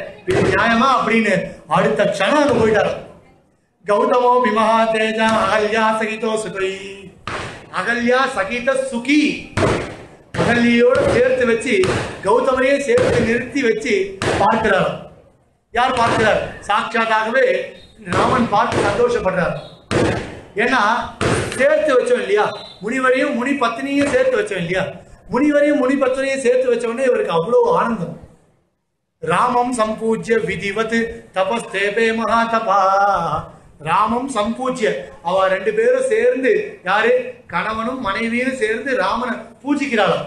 விதிவத்து ஏன்னா விதியோ இல்லையோ? ஆத்துக்கு வந்திருக்காரோ இல்லையோ? கெஸ்டோ இல்லையோ? யாரு? விஸ்வாமித்திரர் ராமர் லக்ஷ்மணர். மூணு பேரும் அவாத்து வந்திருக்க கெஸ்டோ அதனால அவ விதிவத்து பூஜிக்கிறான். விதிவத்து பூஜிச்ச உடனே விஸ்வாமித்திரரை பார்க்கிறார் கம்பன் அழகா வர்ணிக்கிறான். விஸ்வாமித்திரரை பார்த்து அடுத்த க்ஷணம் ராமன் விஸ்வாமித்திரரை பார்க்கிறாராம் விஸ்வாமித்திரர் ராமனை பார்க்கிறாராம் விஸ்வாமித்திரருக்கு தோன்றதா மனசுல கம்பன் வர்ணிக்கிறான். இவ்வண்ணம் நிகழ்ந்த வண்ணம் இனி இந்த உலகுக்கெல்லாம். இவ்வண்ணம் நிகழ்ந்த வண்ணம். நான் உன்னை பார்த்தனே நீ இப்ப பண்ண காரியம் எப்படிப்பட்ட காரியம் தெரியுமா? இவ்வண்ணம் இனி உலகுக்கெல்லாம் இது உலகத்துக்கு எல்லாத்துக்கும் நீ எப்படிப்பட்டவன்ற காட்டுற நீ. இல்லையா? கல்லா இருந்தாலும் கூட நீ உன்னுடைய பாத தூளி பட்டதுன்னா அது சுபிக்ஷமாயிடும். அப்ப மனுஷால் ஆக மாட்டாளா? ராமநாம ஸ்மரணம் பண்றவாள் ஆகாமையா போயிடுவான். இவ்வண்ணம் நிகழ்ந்த வண்ணம் இனி இந்த உலகுக்கெல்லாம். உய் வண்ணம் அன்றி மற்றோர் துயர் வண்ணம் கூறுவதுண்டோ மை வண்ணத் அரக்கி போரில் மழை வண்ண தன்னலே உண்டு மை வண்ணத்து அரக்கி போரில் நான் இன்னைக்கு கருப்பா ஒருத்தி இருந்தால தாட்டக. அவளுடைய போர்ல மை வண்ணத்து அரக்கி போரில் அந்த அரக்கியுடைய போர்ல நான் என்ன பண்ணேன்னா மழை வண்ண தன்னலே உன் மழை வண்ணத்து அண்ணலே அப்படின்னா நன்னா பார்த்துங்கோ அவ மை வண்ணம் ராமனும் கருப்பு தாட்டகையும் கருப்பு. ஆனா ரெண்டு கருப்புக்கும் வித்தியாசம் இருக்கு இல்லையா? அதனால மை வண்ணத்து அரக்கி போரில் மழை வண்ணத்து மழை எப்படி இருக்கும்? கார்நீல வேகம் வண்ணன் இல்லையா? கார்மேக வண்ணன். ஏன்னா ஊழி முதல்வன் உருவம் போல் மெய்கருத்துன்னு சொன்னாலே ஆண்டாள். இல்லையா? ஆனா ஊழி முதல்வன் உருவம். கார்மேக வண்ணன் இல்லையா? கரு கருணீல மேகமா இருக்கும் இல்லையா? அப்படிப்பட்டவன் தானே இந்த சாட்சாத் பெருமாள். கருப்பா இருப்பா இல்லையா? மழை வண்ணத்து அண்ணலே உன் கைவண்ணம் அங்கு கண்டே உன்னுடைய கைவண்ணம் நீ வீரம் உன்னுடைய வீரம் பார்த்தனே. அது அங்க பார்த்த உன்னுடைய காம்பீரியம் உன்னுடைய வீரம் இதெல்லாம் நான் அங்க பார்த்தேன். கை வண்ணம் அங்கு கண்டேன் கால் வண்ணம் இங்கு கண்டேன். உன்னுடைய காருண்யத்தை நான் இங்க பார்த்தேன். இல்லையா? உன்னுடைய வீரத்தை நான் அங்க பார்த்தேன். உன்னுடைய காருண்யத்தை நான் இங்க பார்த்தேன். இல்லையா? எப்பேற்பட்ட காருண்யம் இது? ரெண்டு பேரையும் சேர்த்து வச்சுட்டியே. யாராவது சேர்த்து வைப்பா சேர்த்துப்பாளா பிரஷ்டையா போயிட்டவளை தான் கணவன்மார் கூட சேர்த்துக்க மாட்டான். ஆனா அவன் சேர்த்துட்டான் கௌதமன். ஏன் சேர்த்துட்டான் பிரமாணம் காண்பிச்சது ராவன். இல்லையா? நீ பண்ணது அவன் மனைவி பண்ணது தப்பு இல்லை அப்படின்னு அந்த மனைவிக்கு சப்போர்ட் பண்ணது யாரு? சாட்சாத் ராமன். எம்ப எம்பெருமான் சப்போர்ட் பண்ணியிருக்கான். எம்பெருமான் சப்போர்ட் பண்ண காரணத்தினால அவனால ஒண்ணுமே பண்ண முடியல. பெருமாளை நோக்கி ஓடி வரான். பல கிலோமீட்டர் தள்ளி ஓடி வந்து நான் என் மனைவியை ஏற்றுன்ட்டேன் இனிமேல் நான் அவளோட வாழறேன்னு கை கூப்பி சொல்றான். ஜட்ஜு முன்னாடி நான் இனிமேல் இந்த டைவர்ஸ்க்கு அப்ளை பண்ண மாட்டேன். தப்புதான்னு நான் என்னுடைய நான் என்ன அப்ளை பண்ணணும் அதை நான் திருப்பி வாங்கிக்கிறேன்னு சொல்றான். அப்படி ஒரு பெருமாளுக்கு இருக்கக்கூடிய ஏற்றம் அவருடைய ஏற்றம். இதுதான் பெருமாள் விஸ்வாமித்திரர் சொல்றார் பெருமாளை பார்த்து கால் வண்ணம் இங்கு கண்டேன். இப்பேற்பட்ட காருண்யம் லோகத்துல வேற யாருக்கு இருக்கும்? உனக்கு மட்டும்தான் இருக்கும். இனி இந்த உலகுக்கெல்லாம். இந்த மாதிரி வேற யாருக்கு இருக்கும்? அப்படின்னு. உடனே அந்த ஆசிரமத்துல அவ ரெண்டு பேரையும் சேர்த்து வச்சுட்டு மேல போறான் மேல போன உடனே மித்திலா நகரத்துக்கு போறான் மித்திலா நகரத்துல யாகம் பண்ணிட்டு இருக்கான் ஜனகன் பிரம்ம ஞானி ஜான யாகம் பண்ணிட்டு இருக்கிறப்போ அந்த பிரம்மஜானி யாகம் பண்ணிட்டு இருக்கிறப்போ இந்த விஸ்வாமித்திர விஸ்வாமித்திரரோட இந்த ரெண்டு குமாராலும் போயிட்டு இருக்காங்க இந்த ரெண்டு குமாராலும் போகும்போது அவன் பார்க்கிறான். அங்க இருக்கவாள் எல்லாரும் பார்க்கிறான். அதாவது அந்த ஜனக மகாராஜா யாக சபையில் இருக்கக்கூடிய முனிவர்களோ அங்க இருக்கக்கூடிய ஜனங்களோ எல்லாரும் பார்க்கிறார். எல்லாரும் பார்க்கிறப்போ இவர் யாரோ சாதாரணமா இருக்க மனுஷால் நடந்து வர மாதிரி தெரியலையே. இப்போ விஸ்வாமித்திரர் பின்னாடி போனா அவ ரெண்டு பேர் கூனி குறுகி பவ்யமா போவான் யாக சம்ரக்ஷணமா இருந்தால் பவ்யமா போவான் ரிஷியோட ஆசிரமமா இருந்தால் ஆசிரமமாச்சே ரிஷிகள்லாம் இருப்பான் பவ்யமா போவான் ஆனா இப்ப போறது எங்க? ராஜ சபைக்கு போறான் ராஜ சபைக்கு போகும்போது எப்படி போவா? நல்ல கம்பீரமா போறா ரெண்டு பேரும். சாதாரணமா போறா. முனிக்குமாரால் அதாவது முனிவர் பின்னாடி போற மாதிரி தெரியல. அந்த முனிவரே கம்பீரமா போறார். ஏன்? தான் பின்னாடி பெருமாள் வரார் அதனால கம்பீரமா போறார் அதுக்கு பின்னாடி பெருமாளம் ஆதிசேஷனும் இன்னும் கம்பீரமா போறானா ரெண்டு பேர் அப்படி கம்பீரமா போன உடனே ஜனகன் பார்க்கிறான். யார் இந்த மூணு பேரும்? தூரேந்து பார்க்கிறான் தூரேந்து பார்க்கும்போது ரொம்ப கம்பீரமா வரா மூணு பேரும். பார்த்த உடனே கிட்ட வர வர பார்த்தால் விஸ்வாமித்திர வர. விஸ்வாமித்திர வரான்னு உடனே இவனுக்கு என்ன பண்றதுன்னே தெரியல ஜனக மகாராஜாவுக்கு. அஜ்ய யஜ்ய சம்பிரத்தியர் மே சபலா தெய்வத்தை கிருத்தா. நான் இத்தனை நாளா யஜ்யம் பண்ணிட்டு இருக்கேன். ஒரு நாற்பது ஒரு மண்டலம் நாற்பத்தெட்டு நாளாக யாகம் பண்ணிட்டு இருக்கேன் நாற்பத்தி ஏழு நாளாக ஒரு- இந்த மாதிரி ஒரு சபலம் எனக்கு ஏற்படவே இல்லை. நாற்பத்தெட்டாவது நாள் ஏற்பட்டுருது எப்படி என்ன சபலம் அப்படின்னா சாட்சாத்தா நீங்கள் வந்திருக்கீங்க. நீங்கள் வந்தீங்க பாருங்க இந்த வருகை உங்களுடைய வருகை தான் என்னுடைய யஜ்ஞமானது பூர்த்தி ஆகிறதுக்கே சமம். யஜ்ஞத்தை பூர்த்தி பண்ணி கொடுக்குறா போல நீங்கள் வந்திருக்கீங்க. நீங்கள் வரத்துக்காகத்தான் நான் 47 நாள் யஜ்ஞம் பண்ணணும் என்னவோ? அதான் உண்மை இல்லையா? வாஸ்தவிகமா பார்த்தாலும் அதான் உண்மை. 47 நாள் யஜ்ஞம் பண்ணது எதுக்காக அப்படின்னா 48வது நாள் விஸ்வாமித்திரர் ராமனோட வரத்துக்காகத்தான் அவர் யஜ்ஞம் பண்ணார் போல இருக்கு ஜனகன். அப்படி யஜ்ஞம் பண்ணி இந்த விஸ்வாமித்திரரும் ராமனும் லக்ஷ்மணனும் அங்க வந்தான். உடனே வந்த உடனே அவன் சொல்றான் தன்யோஸ்மி அனுகிரகீதோஸ்மி எஸ்எம்ஏ முனி புங்கவா தன்யோஸ்மி அனுகிரகீதோஸ்மி. நான் பாக்கியம் பண்ணியிருக்கேன். தன்யம் பண்ணியிருக்கேன் அனுகிரகீதம் என்ன அனுகிரகம் பண்ணுங்கோ. உங்க வருகையானது நல்ல வரவாகட்டும் அப்படின்னு சொன்னான் நல்ல வரவாகட்டும்னு சொல்லிட்டு விஸ்வாமித்திரரை பார்த்துட்டு பின்னாடி இருக்க அந்த ரெண்டு பேரை பார்த்தாங்க பின்னாடி இருக்க ரெண்டு பேரை பார்த்த உடனே என்ன பண்றதுன்னே தெரியவே இல்லை. என்னென்னவோ தோன்றது இவனுக்கு ஜனகனுக்கு வால்மீகி ராமாயணத்துல ரொம்ப அழகா வர்ணிக்கிறார். இப்படி எட்டி பார்த்தானா கண்ணை பொட்டா இந்த ரெண்டு குமாராலும். இவனுக்கு என்னென்னவோ தோன்றதான் உள்ளுக்குள்ள. இது இந்த வருஷத்துல இந்த ஜென்மத்துல ஏற்பட்ட பந்தம் மாதிரி தெரியல. இந்த ரெண்டு குமாரால பார்த்தால் எத்தனையோ ஜென்மமா இவா ரெண்டு பேர்ல எனக்கு உறவுன்ற மாதிரி தோன்றது. ஏதோ இப்ப நான் பார்க்கிற மாதிரி தெரியலையே. இமௌ குமாரோ பத்ரம் தே தேவ துல்லிய பராக்கிரமௌ. இமௌ குமாரோ பத்ரம் தே. உங்களுக்கு பத்ரம் அப்படின்னா உங்களுக்கு மங்களம் உண்டாகட்டும்னு அர்த்தம். ஏ முனிவரே உனக்கு மங்களம் உண்டாகட்டும். இமௌ குமாரோ யார் இந்த ரெண்டு குமாரரும் இவளை பார்த்தாலும் எனக்கு சாதாரணமா தோணலையே. ஏதோ பல வருஷங்களாக எனக்கு ரொம்ப வேண்டிய மாதிரி தோன்றுது. இவளை பார்த்தா ஏன் எனக்கு உள்ளுக்குள்ள ஒரு படபடப்பு ஏற்படுறது யார் இந்த ரெண்டு குமாரால் பார்த்தால் சாதாரண முனிகுமாரால் மாதிரி தெரியலையே. ஏதோ கையில வில்ல வச்சுன்னு வராங்களாம் அதாவது ஆசிரமத்து உள்ள போகும்போது வில்ல இறுக்கி கட்டியிருப்பாளாம். இல்லையா? ஏன்னா யுத்தத்துக்கு தேவையில்லை இல்லையா? சாதாரணமா கையில வச்சுட்டு பவ்யமா போவான். இதே ராஜசபைக்கு போகும்போது நல்லா ரிலீஸ் பண்ணி நல்லா யுத்தத்துக்கு தயாராக கட்டிண்டு தோல்ல வச்சுட்டு நல்லா அகண்ட மார்புகளோட போகிறார் வியூடோ ரஸ்கஹா விஷஸ்கந்தஹான்னு குமார் காளிதாசன் வர்ணிக்கிறான் ரகுவம்சத்தில் அப்படி பறந்து விரிந்த மார்புகளோட ரெண்டு பேரும் இருக்காள் பார்க்கலாம். இமோ குமாரோ பத்ரம் தே தேவதுல்ய பராக்கிரமஹு இவெல்லாம் தேவதுல்ய பராக்கிரமம் சாட்சாத் இந்திரனும் அவன் தம்பி உபேந்திரனும் வந்த மாதிரி இருக்காளே. இவளை பார்த்தால் முனிகுமாரால் மாதிரி தெரியலையே. சாட்சா தேவேந்திரன் இறங்கி கீழே வந்தால் போல இருக்கே அப்படின்னாலாம் கஜ துல்லிய கதி வீரவ் சார்தூல விருஷபோபமௌ இவன் ஒருத்தன் பார்த்தா யானை மாதிரி இருக்கான். இன்னொருத்தன் பார்த்தா சிம்மம் மாதிரி இருக்கான். யானையும் சிம்மமும் ஒரே சமயத்துல சேர்ந்து வந்த மாதிரி இருக்கு. கஜ துல்லிய கதி வீரவ் யானை நிக்கிறது சிம்மம் நிக்கிறது ரெண்டும் ஒன்னா வந்து நிக்கிறது. எப்படி இது? இல்லையா? சார்தூல விருஷபோபமோ சார்தூலன்னா புலி விருஷபோனா எருது. புலியை எருதும் ஒண்ணா வந்த மாதிரி இருக்கு. முதல்ல இருக்கிறவனை பார்த்தா புலி மாதிரி இருக்கான். பின்னாடி இருக்கிறவனை பார்த்தா அகண்டு விரிந்த மார்புகளோட இவனையே மிஞ்சிருவான் போல இருக்கு. அவன் கோபத்தோடு இருக்கான். அவன் பார்த்தாலும் எருது மாதிரி இருக்கான். கொம்பு சீவு விட்ட எருது மாதிரி இருக்கான் அவன். சார்தூல விருஷதோபமவும் பத்மபத்ர விஷாலாட்சௌ. கங்கதப்ப கங்கத தனுர்தரோ. பத்மபக்ஷ விஷாலாட்சௌ. ஆனா இவருடைய கண்ணை பார்த்தால் இப்படி தெரியலையே. இல்லையா? பத்மபத்திர விஷாலாச்சோ அவ கண்ணை பார்த்தால் என்னை இழுத்துட்டு அவ பின்னாடியே நான் போயிடுவோம் போல் இருக்கேன். இப்படி அவ ஆக்கிருத்திலாம் பார்த்தால் எனக்கு பயமா பயங்கரமா இருக்க தவிர அவ ரெண்டு பேர் கண்ணை பார்த்தால் அடுத்த க்ஷணம் அவ கூப்பிடுற இடத்துக்கு நான் போயிடுவோம் போல் இருக்கேன். அப்படி இருக்க தாமரை போல கண்ணா இருக்க. பத்மபத்திர விஷால ஆட்சவு கட்க தூ கட்க தோணி தனூர் தரவு கையில பார்த்தால் வில்லு வச்சிருந்துருக்கா தனுர் தரனா இருக்கா? இவாள்லாம் பார்த்தால் சாதாரண குமாரன் மாதிரி தெரியலையே எனக்கு சொல்லு. யாருன்னு சொல்லுன்றா. பரஸ்பர சத்ரு ஈஷவு ரெண்டு பேரும் ஒத்தருக்கு ஒருத்தர் பார்த்தாலும் ஒன்னா இருக்க மாதிரி இருக்கே. யாருன்னு எனக்கு சொல்லுன்றார் உடனே யாருன்னு சொல்லுன்னு உடனே விஸ்வாமித்திரர் இவனுடைய விஷயத்த சொல்றார்.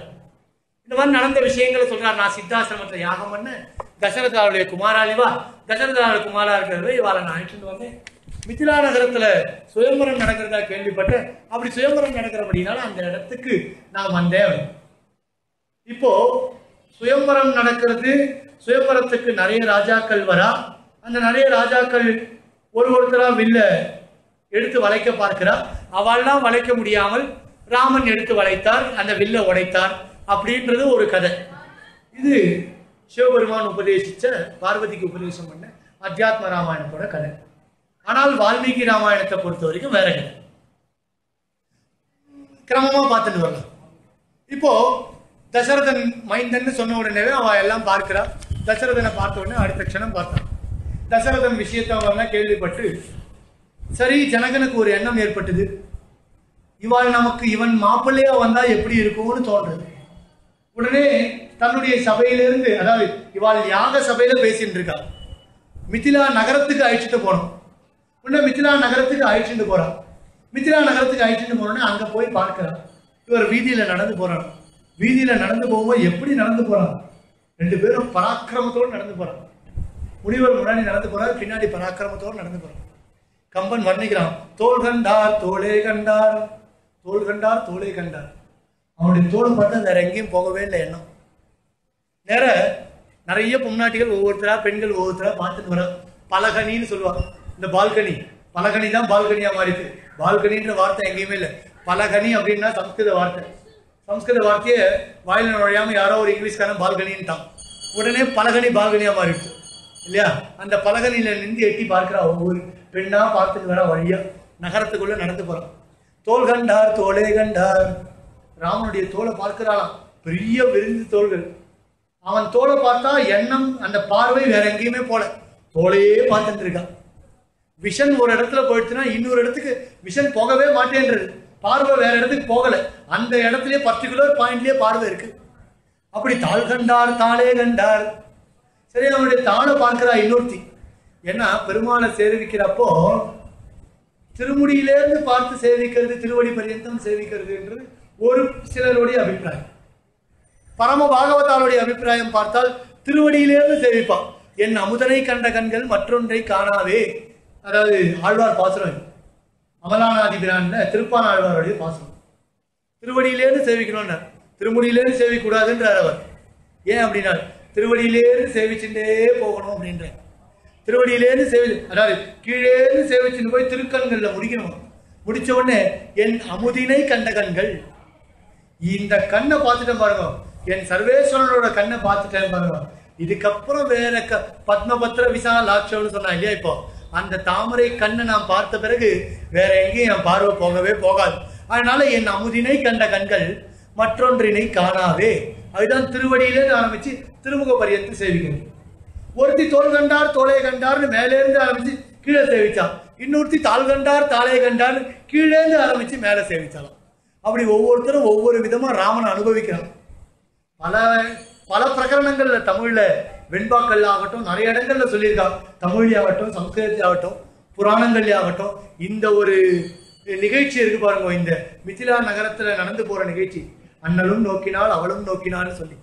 அந்த நிகழ்ச்சியை பல பேர் பலவிதமா வர்ணிச்சிருக்காங்க. அப்படி இவ போராடலாம் சாதாரணமா பிரம்மச்சாரி போற மாதிரி போறாரு. இவர் கேசத்தை பார்த்தால் எடுத்து முடிஞ்சின்ற கேசம் இல்லை இது. ஆசிரமத்துல முனிவர்கள் கிட்ட இருக்கிறப்போ எடுத்து முடிஞ்சிட்டு ஏன்னா தன்னுடைய கேசம் பறக்கக்கூடாது இல்லையா? அதனால முடிஞ்ச அப்படியே பறந்துட்டு இருக்கக்கூடாது முனிவர்கள் முன்னாடி அது அவ்வளோ மரியாதை இல்லை. அதனால அங்கே எடுத்து முடிஞ்சிட்டா. இங்கே நன்னா தீர்த்தம் ஆடிட்டு நல்லா அழக விரிச்சு விட்டு கூந்தல்ல நன்னா கிரீடெல்லாம் சாத்திண்டு நன்னா நடந்து போறாய்வா அப்படி பார்த்தால் நல்ல கேசத்தோட வா போயின்னு இருக்கான் அதையெல்லாம் பார்த்து வர்ணிக்கிறா சில பேர். எப்படி கேசம் போறேன் இவனுக்கு? இவ்வளவு கேசம் இருக்க இவா ரெண்டு பேருக்கும். கேசமே இவ்வளவு அழகா இருக்கே அப்படின்னு வர்ணிக்கிறார். பெண்கள்லாம் பார்த்து. அவனுடைய நடை உடை பாவனையெல்லாம் பார்த்தால் சாதாரண புருஷன் மாதிரி தெரியல. சீதையே வர்ணிக்கிறத ஆழ்வார் சொல்றார். திருவங்கி ஆழ்வார் சாதிக்கிறார். தேவர் இவரோ அப்படின்னு. மேல்லோகத்திலேருந்து இந்திரன் இறங்கி வந்துட்டானான்னு வர்ணிக்கிறார். சீதையே திருமங்கி ஆழ்வார் சொல்றார். சாதாரணமானவன் கிடையாது இவன். தேவர் தான் இறங்கி வந்துட்டானோ.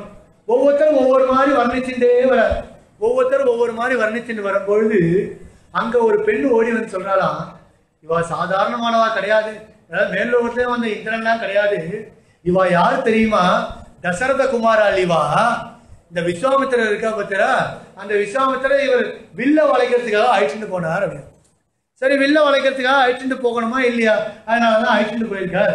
உங்க அப்பா தான் சொல்லியிருக்காரு யாரு வில்ல வளைக்கிறாளோ அவருக்கு தான் உன்னை கல்யாணம் பண்ணி கொடுப்பேன்னு சொல்லிட்டு. அதனால இவ கூப்பிட்டு போறான் பரம சந்தோஷம் வந்துடுச்சு சீதைக்கு. கண்டிப்பா இருக்கிற பெருமாள் எல்லாம் வேண்டிக்கிறான்னு சொல்றா பல ராமாயணங்கள்ல. இல்லையா? இது மொத்த எப்படியெல்லாம் வேண்டிக்கணுமோ அப்படி வேண்டினாலும் இந்த புருஷன் இவன் வில்ல வளைக்கணும் இவனையே எனக்கு திருக்கல்யாணம் பண்ணிக்கணும்னு வேண்டிக்கிறாளா? சபைக்கு போயிட்டா சபையில வில்ல எடுத்துன்னு வந்து வைக்கிறாள். அங்க ஒரு பலகனி இருக்கு. அந்த பலகனியில போய் சீத்தை பார்த்து நிக்கிறாள் அந்த பல பேர் சேர்ந்து ஒரு பொட்டியில அந்த சிவதனுசை வச்சு தூக்கிட்டு வராங்க ஏன் சிவதனுசை அங்க வச்சு தூக்கிட்டு வரா? அப்படின்னா சீதை தன்னுடைய ஆறு வயசுக்கு முன்னாடியே பந்து விளையாடிட்டு இருக்கிறப்போ ஜனகன் ஒன்றும் முட்டாள் இல்லையே. இல்லையா? சீதான்றதே ரொம்ப விசேஷமான ஒரு பெண்மணி. சாட்சாத் மகாலட்சுமியினுடைய அவதாரம் அவள் சீதா லாங்கூல பத்தத்திகின்னு சொல்லுவாள் சீதைன்றவள் பூமியை தோன்றினப்போ கிடைத்தவள் அவள். சாதாரணமாக அவள் வந்து ஒரு கர்ப்பவாசம் பண்ணி பிறந்தவள் கிடையாது. நன்னா பாருங்கோ பெருமாள் பல அவதாரங்களில் கர்ப்பவாசம் பண்ணி பிறந்திருக்கான். ராமகிருஷ்ணாதி அவதாரங்கள்ல. அம்மா வயத்துல இருந்து பிறந்திருக்கான். ஆனால் எந்த ஒரு அவதாரத்திலும் பிராட்டி கர்ப்பவாசம் பண்ணதா இல்லவே இல்லை. பிராட்டி அயோனிஜியால் தான் பிறப்பான். அது சீதையா இருந்தாலும் சரி சீதா லாங்கூல பத்தத்திகின் பூமியில தோண்டும் போது கிடைச்சபடினால்தான். சீதா அப்படின்னா இந்த ஏர் உழறா இல்லையா கலப்பை. அந்த கலப்பைக்கு பேர் சீதா அப்படின்னு பேர். அப்படி வச்சு கோடு போட்டா டிராக்டர்ல கூட இன்னைக்கு கோடு போடுறாரு. பெரியவாள்லாம் பார்த்துருப்பான் அந்த ஏறு உழற கலப்பைக்கு. அந்த ஏறு உழற கலப்பிக்கு பேர் சீதான்னு பேர். அதனால சீதான்னு பேர் வச்சார் ஜனகர் அதே மாதிரி நம்ம ருக்குமணிக்கு சா பீஷ்மகாத்து அபியுதயாத்துன்னு சொல்றார் பாகவதத்துல. யாதவா யாதவாபுரத்துல சுவாமி தேசிகன். சா பீஷ்மகாத்து அபியுதயாத்துனா பீஷ்மகன் பீஷ்மர் இல்ல பீஷ்மகன். பீஷ்மர் வேற பீஷ்மகன் வேற. பீஷ்மர்னா நமக்கு தெரிஞ்ச பீஷ்மர் கௌரவ தலைவர். பீஷ்மகன்றவன் ருக்மணி பிராட்டிக்கு அப்பா. அந்த பீஷ்மகன் இடத்துல தோன்றினவள் அவள். பிறந்தவள்னு சொல்ல அபியுதயாத்து ஆவிர் பூத்தாத்துனா தோன்றினவள் அந்த ருக்குமணி அதனால அவளும் அயோனிஜை தான். பெரியாழ்வார் நம்முடைய ஆண்டால அயோனிஜியா தான் பார்த்திருக்காரு. இல்லையா துளசி வனத்துல அயோனிஜியா பார்க்கிறார். அதனால பிராட்டி எல்லா இடத்துலையுமே அயோனிஜியா தான் வருவோம் ஏன்னா கர்ப்பவாசம் அவளுக்கு இருக்கவே இருக்காது. ஏன் அப்படின்னா பார்த்தவாளுடைய ஸ்பர்சம் அவளுக்கு கிடையவே கிடையாது என்றைக்குமே. அவள் வசந்தவள் அவள். சாதாரணமானவள் கிடையாது. சாட்சாதா தியானம் மூலமாக தான் அவளை அனு- அனுஷ்டானம் பண்ண முடியும். உபாசனம்ன்றது சாட்சாதா சாதாரணமாக பண்ணுறது இல்லை. எப்படி பண்ணுறது உபாசனம்னா உபாசனம்னா தியானம்னு அர்த்தம். தியானம் பண்ணி தான் அடைய முடியும். யாகம் பண்ணால் பெருமாள் அடைஞ்சுடலாம் சாதாரண விஷயம் கிடையாது. யாகம் பண்ணிட்டே இருந்துட்டு பெருமாளே வான்னா அவர் வந்துருவார் ஆனால் உபாசனம் பண்ணால்தான் பெருமாள் வரு அதாவது ஸ்ரீ வருவா. எப்படி? பெருமாளோட சேர்ந்த ஸ்ரீ பெருமாளோட சேர்ந்து ஸ்ரீ வரணும்னா நாம உபாசனம் பண்ணணும் தியானம் பண்ணணும். அதாவது தியானம்னா என்ன அப்படின்னா தைல தாராவது அவிச்சின்ன ஸ்மிருதி சந்ததி ரூபம் தியானம்னு சொன்னோம். தைல தாராவது அவிச்சின்னா ஒரு தைலத்தை கொட்டினா எப்படி நடுவுல கேப்பே இருக்காதோ? ஜலத்தை கொட்டினா கேப் இருக்கும் இல்லையா? ஆனால் தைலத்தை கொட்டினா கேப்பே இருக்காது. கடைசி பர்யந்தம் கேப் இல்லாமல் விழும். அப்படி தைலத்தை கொட்டினா எப்படி கேப்பே வராதோ அதை மாதிரி கேப் விடாம நம்ம உபாசனம் பண்ணணும். அப்படி உபாசனம் பண்ணால் பெருமாளும் தாயாரும் ஒன்னா வருவோம். தனியா நம்ம சேவிக்கக்கூடாது. அப்படி பெருமாளும் தாயாரும் ஒன்னா சேவிக்கணுன்றபடினால தான் அவர் பிராட்டியானவள் பூலோகத்துக்கு வந்திருக்கா. நமக்காகவே வந்தான். சரி சுயம்பரம் பண்ணணும்ன்றா இல்லையா? இந்த ஏன் இந்த மாதிரி வில்ல வளைக்கணும்னு வச்சான்னா ஒரு நாள் பந்து வந்து சாட்சாதா அந்த பந்து விளையாடிந்தாலாவோ அந்த பந்து அந்த வில்லுனுடைய அடியில் போயிடுதான். அந்த சிவதனுஷ ஜனக மகாராஜா வச்சிருக்கான். பரம்பரை பரம்பரையா சிவன் உபயோகப்படுத்தின தனுஷு ஜனக மகாராஜா வம்சத்தில் இருக்கா எல்லாருமே வச்சுட்டு இருக்கா. இவன் நிச்சயம் பூஜை பண்ணிட்டு இருக்கான் அந்த தனுஷ்க்கு. அந்த வில்ல வச்சிருந்தோம்னா அதுக்கு அடியில் போயிடுத்து அந்த பந்து. குழந்தை ஓடி விளையாடி வந்து விளையாடின்ற குழந்தை அந்த பந்தை போய் எடுத்துதான். எப்படி எடுத்துதான்? நேரம் போச்சான். இடது கையால் அந்த சிவதனுஷை தூக்கித்தான். உள்ள இருக்க பந்தை எடுத்துன்னு வந்துதான். யாருமே அசைக்க கூட முடியாத அந்த சிவதனுச அந்த குழந்தை என்ன பண்ணிட்டு அப்படின்னா சாட்சாராகவே என்ன பண்ணானா தன்னுடைய இடது கையால எப்பேற்பட்ட பராக்கிரமசாலியெல்லாம் அசைக்க முடியாத அந்த வில்ல ஒரு சின்ன நாலு வயசு குழந்தை இடது கையால தூக்கி அந்த பந்தை எடுத்துன்னு வந்தவுடனே ஜனகனும் ஜனகன் மனைவியும் பார்த்தலாம் ஜனகன் மனைவியோட பேர் சுனைனான்னு பேர். ராமாயணத்துல ஒரே ஒரு இடத்துல தான் வந்திருக்கு. சுனைனா. கன்னிகாதாரம் பண்ணி கொடுக்கும்போது சுனைனான்னு ஜனகன் பேரை சொல்ற இல்லையா? அவளுடைய பேர் சுனைனா. அவள் ரெண்டு பேரும் பார்க்கிறாளாம். அப்ப முடிவு பண்றாளாம் யாரு இந்த வில்ல எடுத்து வளைக்கிறானோ அதாவது உடைக்கணும்னு ஜனகன் முடிவு பண்ணல. எடுத்து நிறுத்தி அவள் தூக்கி பந்து எடுத்தா பத்திய காட்டிலும் அதாவது சத்திய காட்டிலும் பத்தி வசதியா இருக்கணுமா இல்லையா? வில்ல தூக்கி யான் யார் நிறுத்தி நான் ஏத்துறானோ அவனுக்கு தான் என் மனைவியை என்- மகளை கொடுப்பேன்னு சொல்லி முடிவு பண்ணிட்டான் அன்னைக்கே ஜனகன். அதனால பார்த்தான் இந்த விஷயத்தை விஸ்வாமித்திரன்ட்ட சொல்லிட்டான். ரொம்ப சந்தோஷம். அவ்வளவுதானே வேற எதுவும் இல்லையே நான் பார்த்துக்கிறேன். அப்படின்னு சொல்லிட்டு ராமனை பார்த்தான். ராமனை பார்த்த உடனே அடுத்த க்ஷணம் ராமன் சொல்றாராம் அதை நான் பார்க்கட்டுமா? எப்படி? அதை நான் செஞ்சு பார்க்கட்டுமா? அப்படின்னா என்ன பண்ணி பார்க்கணும்னா அந்த வில்லை எடுத்து நான் ஏற்றி பார்க்கட்டுமா? சரி அந்த வில்லை எடுத்து நான் ஏற்றி பார்க்கணுமாண்ணா? விஸ்வாமித்திர சொல்றார் நான் அதுக்காகத்தானே உன்னை அழைச்சிட்டு வந்தேன். வேற எதுக்காக அழைச்சிட்டு வந்தேன்? வேற வேலை வெட்டி இல்லாமையா நான் இங்க உன்னை அழைச்சிட்டு வந்திருக்கேன். நீ இந்த காரியத்தை பண்ணணுன்றதுக்காகத்தானே சுவாமி நான் உன்னை அழைச்சிட்டு வந்திருக்கேன். தாராளமா பண்ணுன்னாராம். போனாராம் எடுத்தாராம் வில்ல ஒரு கையால் தூக்குனாராம் நிறுத்தினாராம். நான் ஏத்தணும்னு சொன்னா இவன் என்ன பண்ணாராம்? நான் ஏத்தி ஒரு இழு இழுத்தாராம். அந்த வில்லு அப்படியே உடஞ்சே போச்சான் இல்லையா? பங்க தனுஷ் மத்தியன்னு சொல்றார் வால்மீகி. பங்கமான தனுஷுக்கு மத்தியில நின்று சிரிச்சாராம். ராமன் அப்படி சிரிச்ச உடனே சீதை பார்க்கிறாராம். சீதை பார்க்கிறப்ப கூட ராமன் பார்க்கல. வால்மீகி ராமாயணம் தான். அண்ணலும் நோக்கினால் அவளும் நோக்கினால் கம்பன் சொல்லியிருக்கலாம். ஆனா வால்மீகி ராமாயணத்துல அப்படி சொல்லவே இல்லை. சீதை ராமனை பார்த்துட்டா ஆனால் ராமன் சீதையை பார்க்கவே இல்லை. தலை குனிஞ்சுட்டே நிக்கிறான். ஏன் அப்படின்னா நான் தலை நிமிர்ந்து பார்த்துட்டு எங்க அப்பா வானான்னு சொல்லிட்டா இல்லையா? எங்க அப்பா இந்த பெண் வேண்டாம்னு சொல்லிட்டா நான் என்ன பண்றது? அதனால தலை குனிஞ்சுட்டே நிக்கிறானா விஸ்வாமித்திரனை பார்க்கிறான். இது ஒரு வால்மீகி ராமாயணம். பல ராமாயணங்கள்ல பல ராஜாக்கள் வந்து வில்ல வளைச்சு பார்த்தால் ஒருத்தராலே ஒன்றும் முடியவே இல்லை. ராமன் எடுத்து வில்ல வளைச்சான்னு இருக்கு. வில்ல உடைச்சான்னு சரி பார்த்தால் ரொம்ப சந்தோஷம். ஜனகனுக்கு அபரிமிதமான சந்தோஷம். நான் யாரை நினைச்சனும் அவனே எனக்கு மாப்பிள்ளையா வந்துட்டான் பத்தியா? அப்படின்னு மாலையை போட சொல்றார். மாலையை கையில கொடுத்து சீதையுடைய கழுத்துல போட சொன்ன ராம் ராமன் தர்மவான் இல்லையா? முடியாதுன்னு சொல்றான். என்னன்னா எங்க அப்பா தசரதருக்கு செய்தி சொல்லி அனுப்புக்கோ அவர் ஒத்துண்டா நான் மாலை போடுறேன். பித்ருவச்சன நிர்தேஷாத் பித்ருவச்சன கௌரவாத். நேத்தே பார்த்தேன் இல்லையா?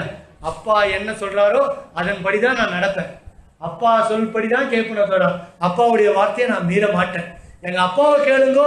எங்க அப்பா சொன்னா நான் ஏத்துக்கிறேன் சரி ஜனகன் என்ன பண்றது? சரி ஆச்சு. அடுத்த கதம் சரி பெண் அமிச்சிட்டான். பெண் அவன் அரண்மனைக்கு போயிட்டான். ஒரு அரண்மனையாக பார்த்து விஸ்வாமித்திரன் ராமன் லக்ஷ்மணன் இது தங்க வச்சான். இங்கே தசரதன் அயோத்தியில் ரொம்ப கஷ்டப்பட்டுட்டே இருக்கான். என்னன்னா போன வாழ் முனிவர் அழைச்சிட்டு போனார். அழைச்சிட்டு போனவர் அழைச்சிட்டு போனவர் தான் போட்டிருக்கு பத்து நாள் ஆச்சு ஒன்றும் செய்தியே தெரியல. அவர் பாட்டுக்கு அழைச்சிட்டு போயிட்டார். காக்கபக்ஷதரம் வீரம் ஜேஷ்டம்மே தாத்து மருக மருகசி அப்படின்னு கேட்டுன்னா கிளம்பி போயிட்டார். உன் ராமனை கொடுன்னு சண்டை போட்டு வாங்கிட்டு போயிட்டார்.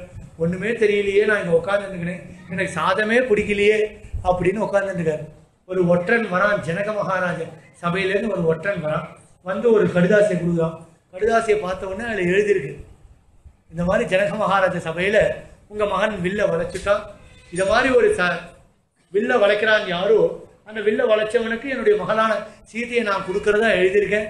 ஒரு ஒரு நி- நிர்பந்தம் வச்சுட்டு இருந்தேன். அதை மாதிரி இவன் வீர சுல்கம்னு சொல்லுவான். இந்த வீரத்துக்கு உண்டான மரியாதை நான் வச்சிருக்கேன். அப்படி இருக்கிறப்போ உங்களுடைய மகன் அந்த வில்ல வளைச்சுட்டான். அதனால உங்க மகனுக்கே நான் என் மகளை திருமணம் திருமணம் செய்து கொடுக்கணும்னு நான் ஆசைப்படுறேன். நீங்க உங்களுடைய பதில் என்னன்னு நினைக்கிறேன் நான். உங்களுடைய பதில் பதிலை எதிர்பார்த்து காத்துட்டு இருக்கேன்னு ஒரு லெட்டர் ஒன்று வருது. வசிட்டர் கிட்ட காட்டுற தாராளமா கிளம்பி போகலான்ற வசிட்டர் நமக்கு ஏத்த குடும்பம் தான். யோசிக்கவே யோசிக்காத வா கிளம்பி போகலான்னு ஒண்ணு படைகளோடு சேர்ந்து சகல விதமான எல்லா கல்யாணத்துக்கு வேண்டிய எல்லா வஸ்துக்களையும் எடுத்துன்னு இவர் கிளம்பி போறார். ஏன்னா மாப்பிள்ளை ஆத்துலேருந்து எடுத்து போறாருல்ல அந்த வஸ்துக்கள் எல்லாத்தையும் எடுத்துட்டு போய் மிथिला நகரத்துக்கு தசரதன் போனார் தசரதன் போன உடனே எல்லா வரவேற்பும் கொடுத்து ஜனகன் வரவேற்கிறான். ஜனகன் வரவேற்று அவளுக்குன்னு ஒரு மாளிகையில உட்கார வச்சு அந்த மாளிகையில உட்கார வச்சு பார்க்கிறான். அந்த மாளிகையில உட்கார வச்சுட்டான் மாளிகையில உட்கார வச்ச உடனே அவன் தசரதன்ட்ட ராத்திரி ஒரு ராத்திரியா பேசிட்டு இருக்கான். மறுநாள் கார்த்தால கல்யாணம். ராத்திரி பேசுறான் ராத்திரி பேசின உடனே ஒரு ஒரு விஷயமாக சொல்லிட்டு வரான் அன்னைக்கு ராத்திரியே.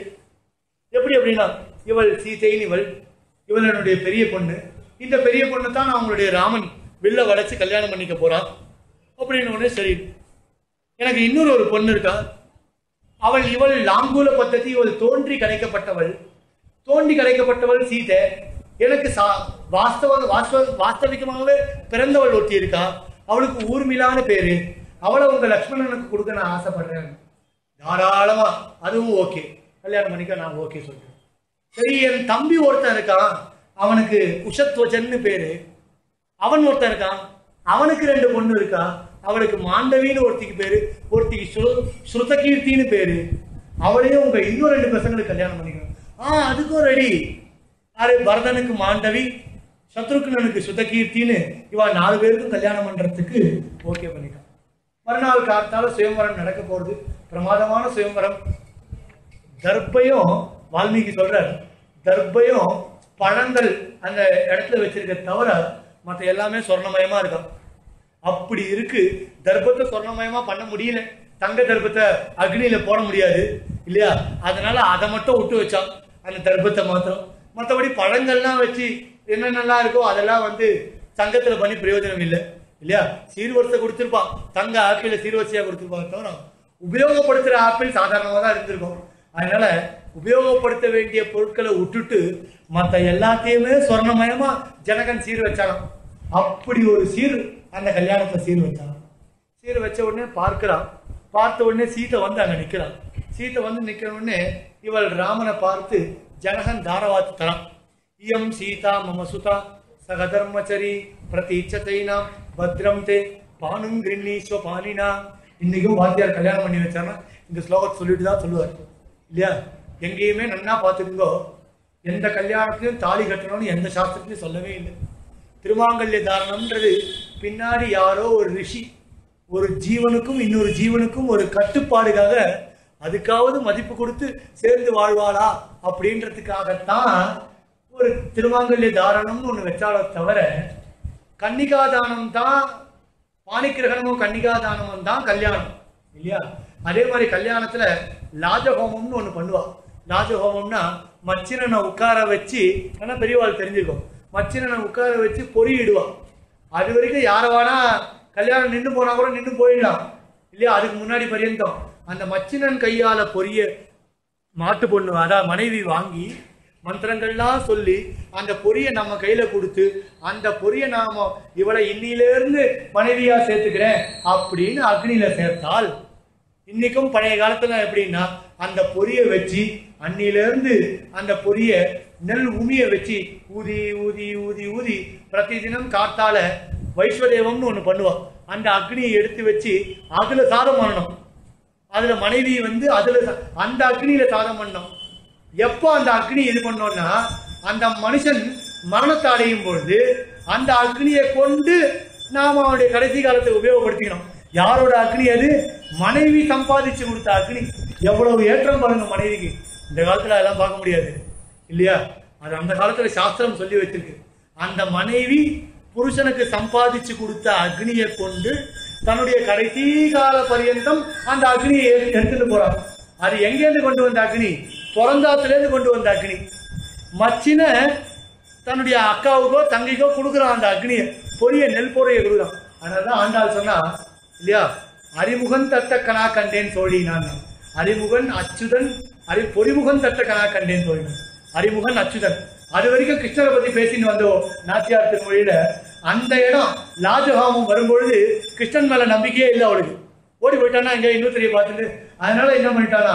அறிமுகன் அச்சுதன் பொறிமுகன் திட்ட அறிமுகம்னா அரினா சிங்கம்னு அர்த்தம். சிங்க முகமுள்ள அச்சுதன் யாரோ அவன் பொறிமுகம் தட்டகனா கண்டேன். தோழினான் இல்லையா? ஏன்னா நரசிம்ம பெருமாள் ஒரு பக்தனுக்காக வந்தவர் இல்லையா? அதனால அவன் தப்பு பண்ண மாட்டான். அந்த நரசிம்மனே வந்து எனக்கு கல்யாணம் என்ன கல்யாணம் பண்ணிக்கிறான் அப்படின்னு ஆண்டாள் சொல்லியிருக்கான். அப்படி சுயம்பரம் நடக்கிறது எங்க அப்படி ராஜஹோமம் பண்ற அதனால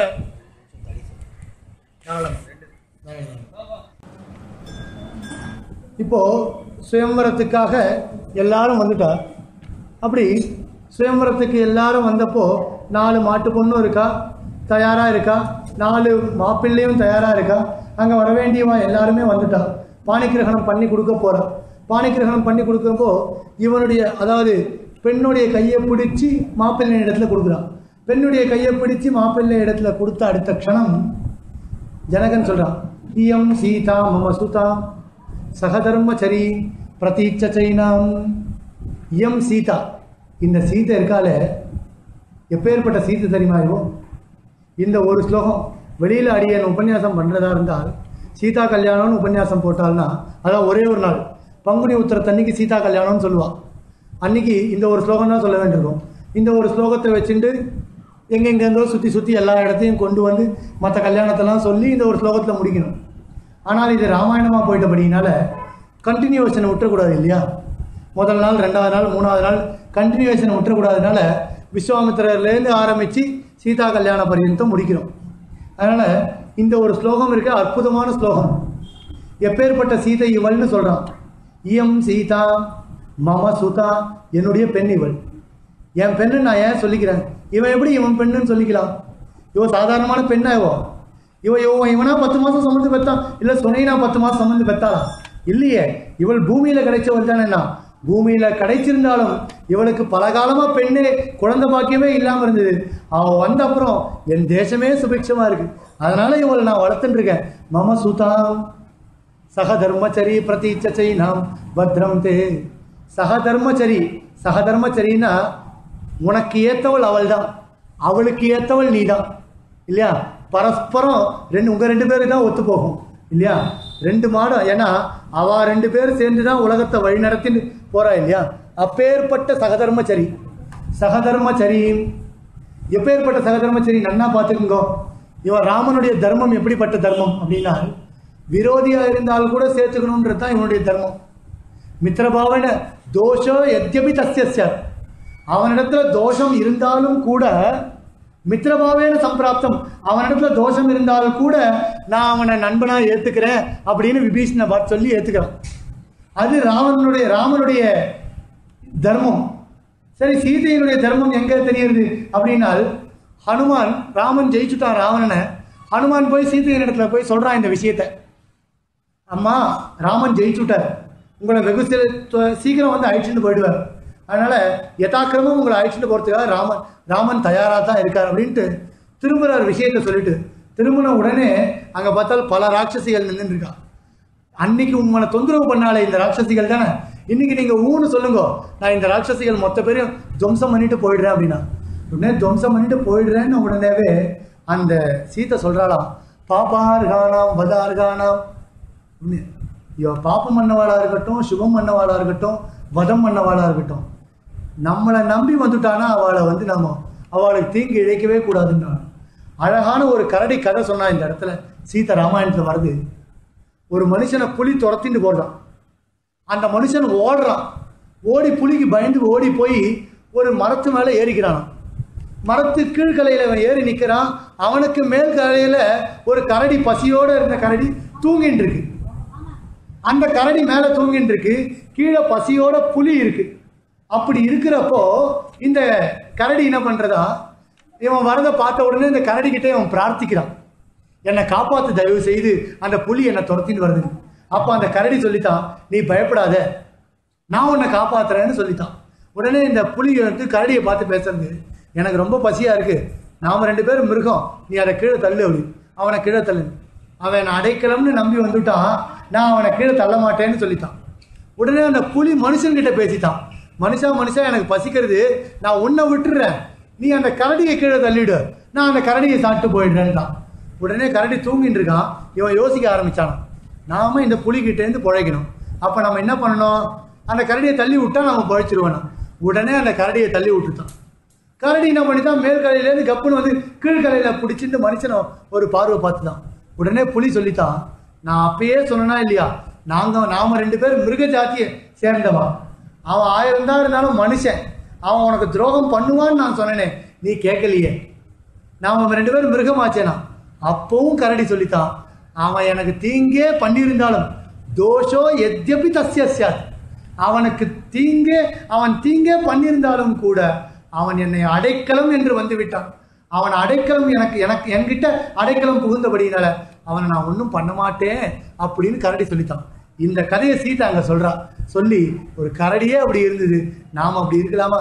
அன்னைக்கு ராவணன் என்னை துன்புறுத்த சொன்னால் அந்த ராட்சசிகள் என்னை துன்புறுத்தினான் நாளைக்கு விபீஷணன் என்னை மகாராணியாக பார்க்க சொன்னால் அந்த ராட்சசிகள் மொத்த பேர் என்ன? மகாராணியாக பார்ப்பான் இதுதான் ராமனுக்கும் சீதைக்கும் உள்ள தர்மம் ஒத்து போகிற தர்மம். அவனும் அப்படி நினைச்சான் இவனும். அதனால தான் ஜனகர் சகதர்மச்சரின்னு சொன்னார். உனக்கு அவளுக்கும் அவ்வளோ ஒரு ஒத்துமை இருக்கு. பிரதீட்சை நாம் பத்ரம் தே. பிரதீட்ச பத்ரம் தே. பிரதீட்சை நாம் பாரு.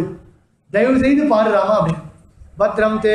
பாணிங் கிருண்ணீஸ்வ பாணினா பாணிங் கிருண்ணீஸ்வர் இல்லையா? நீ பார்த்துட்டு இந்த கையை பிடிக்கணும்னா. இந்த கையை பிடிக்கணும்னு போது கூட அவன் பிடிக்கலையா? ஏன் அப்படின்னா தசரதன் என்ன சொல்லுவான்? தசரதனை பார்த்துட்டு இருக்கான் நீ பிடிச்சிதான் ஆகணும்னு எல்லாரும் பக்கத்தில் பக்கத்துல எல்லாரும் சொன்ன உடனே பாணிங் கிருண்ணீஸ்வர் இந்த கையை பிடித்துக்கொள் அப்படின்னு சீதையுடைய கையை பிடிச்சி கையில கொடுக்குறா. இந்த ராமனுடைய கையில கொடுத்தான் இன்னைக்கும் கல்யாணத்துல பாருங்க மாலையை மாத்தி விட்டா வாசல்ல கை பிடிச்சுப்பா வாசல்ல கையை பிடிச்சிட்டானா அந்த கையை விடக்கூடாது. இல்லையா? அதுக்கப்புறம் சுத்தி வர பத்தி உலாத்தெல்லாம் ஆகும். திருஷ்டினா சுத்தி போடுவா. அதுக்கப்புறம் அக்னி முன்னாடி எடுத்துன்னு போய் தான் நான் மந்திரம் சொல்லி அந்த கையை விடணும். மனைவியுடைய கையை. அதுதான் பாணிம் கிருண்ணீஸ்வர். பாணினா உன் கையால இவருடைய கையை பிடிச்சிக்கோ அப்படின்னு ஜனகன் சொன்னான். இது அற்புதமான விஷயம். உடனே அவன் கையை பிடிச்சிட்டான் சீதையுடைய கையை. உடனே சீதைக்கு கல்யாணம் ஆச்சு இல்லையா? அதுவும் சீத கல்யாணம் சீதா கல்யாணத்துக்கு பிறகு ஊர்மிளா கல்யாணம் ஊர்மிளா கல்யாணத்துக்கு பிறகு மாண்டவி மாண்டவிக்கு அப்புறம் ஸ்ருதகீர்த்தின்னு நாலு பேருடைய சுயம்பரம் அதான் விவாகமும் விஸ்வாமித்ரர் வசிஷ்டர் தசரதர் பல மகாராஜாக்கள் பல ரிஷிகள் இவா தலைமை தலைமையில் ரொம்ப அற்புதமாக மிதிலா நகரத்தில் ரொம்ப சிறப்பாக சீதா கல்யாணமாக நடந்து இன்னையோட சீதா கல்யாணத்துக்கு இதை முடிச்சுப்போம். நாளைக்கு பாதுகாப்பட்ட அபிஷேகம் இதுலேருந்து ஆரம்பித்து இப்போ சீதா கல்யாணத்தில் விட்டுருக்கோம் இல்லையா? இப்போ மிதிலையில் முடிஞ்சு போச்சு கல்யாணம். மிதிலையிலேருந்து அவள் நாளைக்கு கிளம்புறா இல்லையா? சம்மந்தி சாப்பாடுலாம் கட்டிட்டு கிளம்புவாவா? அந்த கிளம்புறதுலேருந்து ஆரம்பித்து பாதுகாப்பட்ட அபிஷேக பரியந்தம் நாளைக்கு பார்க்கலாம். ஸ்வஸ்தி பிரஜாபிய பரிபாலயன் தாம் நியாயேன மார்க்கேன மகிமகேஷா. கோபிராமணே பிரிய சுபமஸ்து நித்யம். లోకా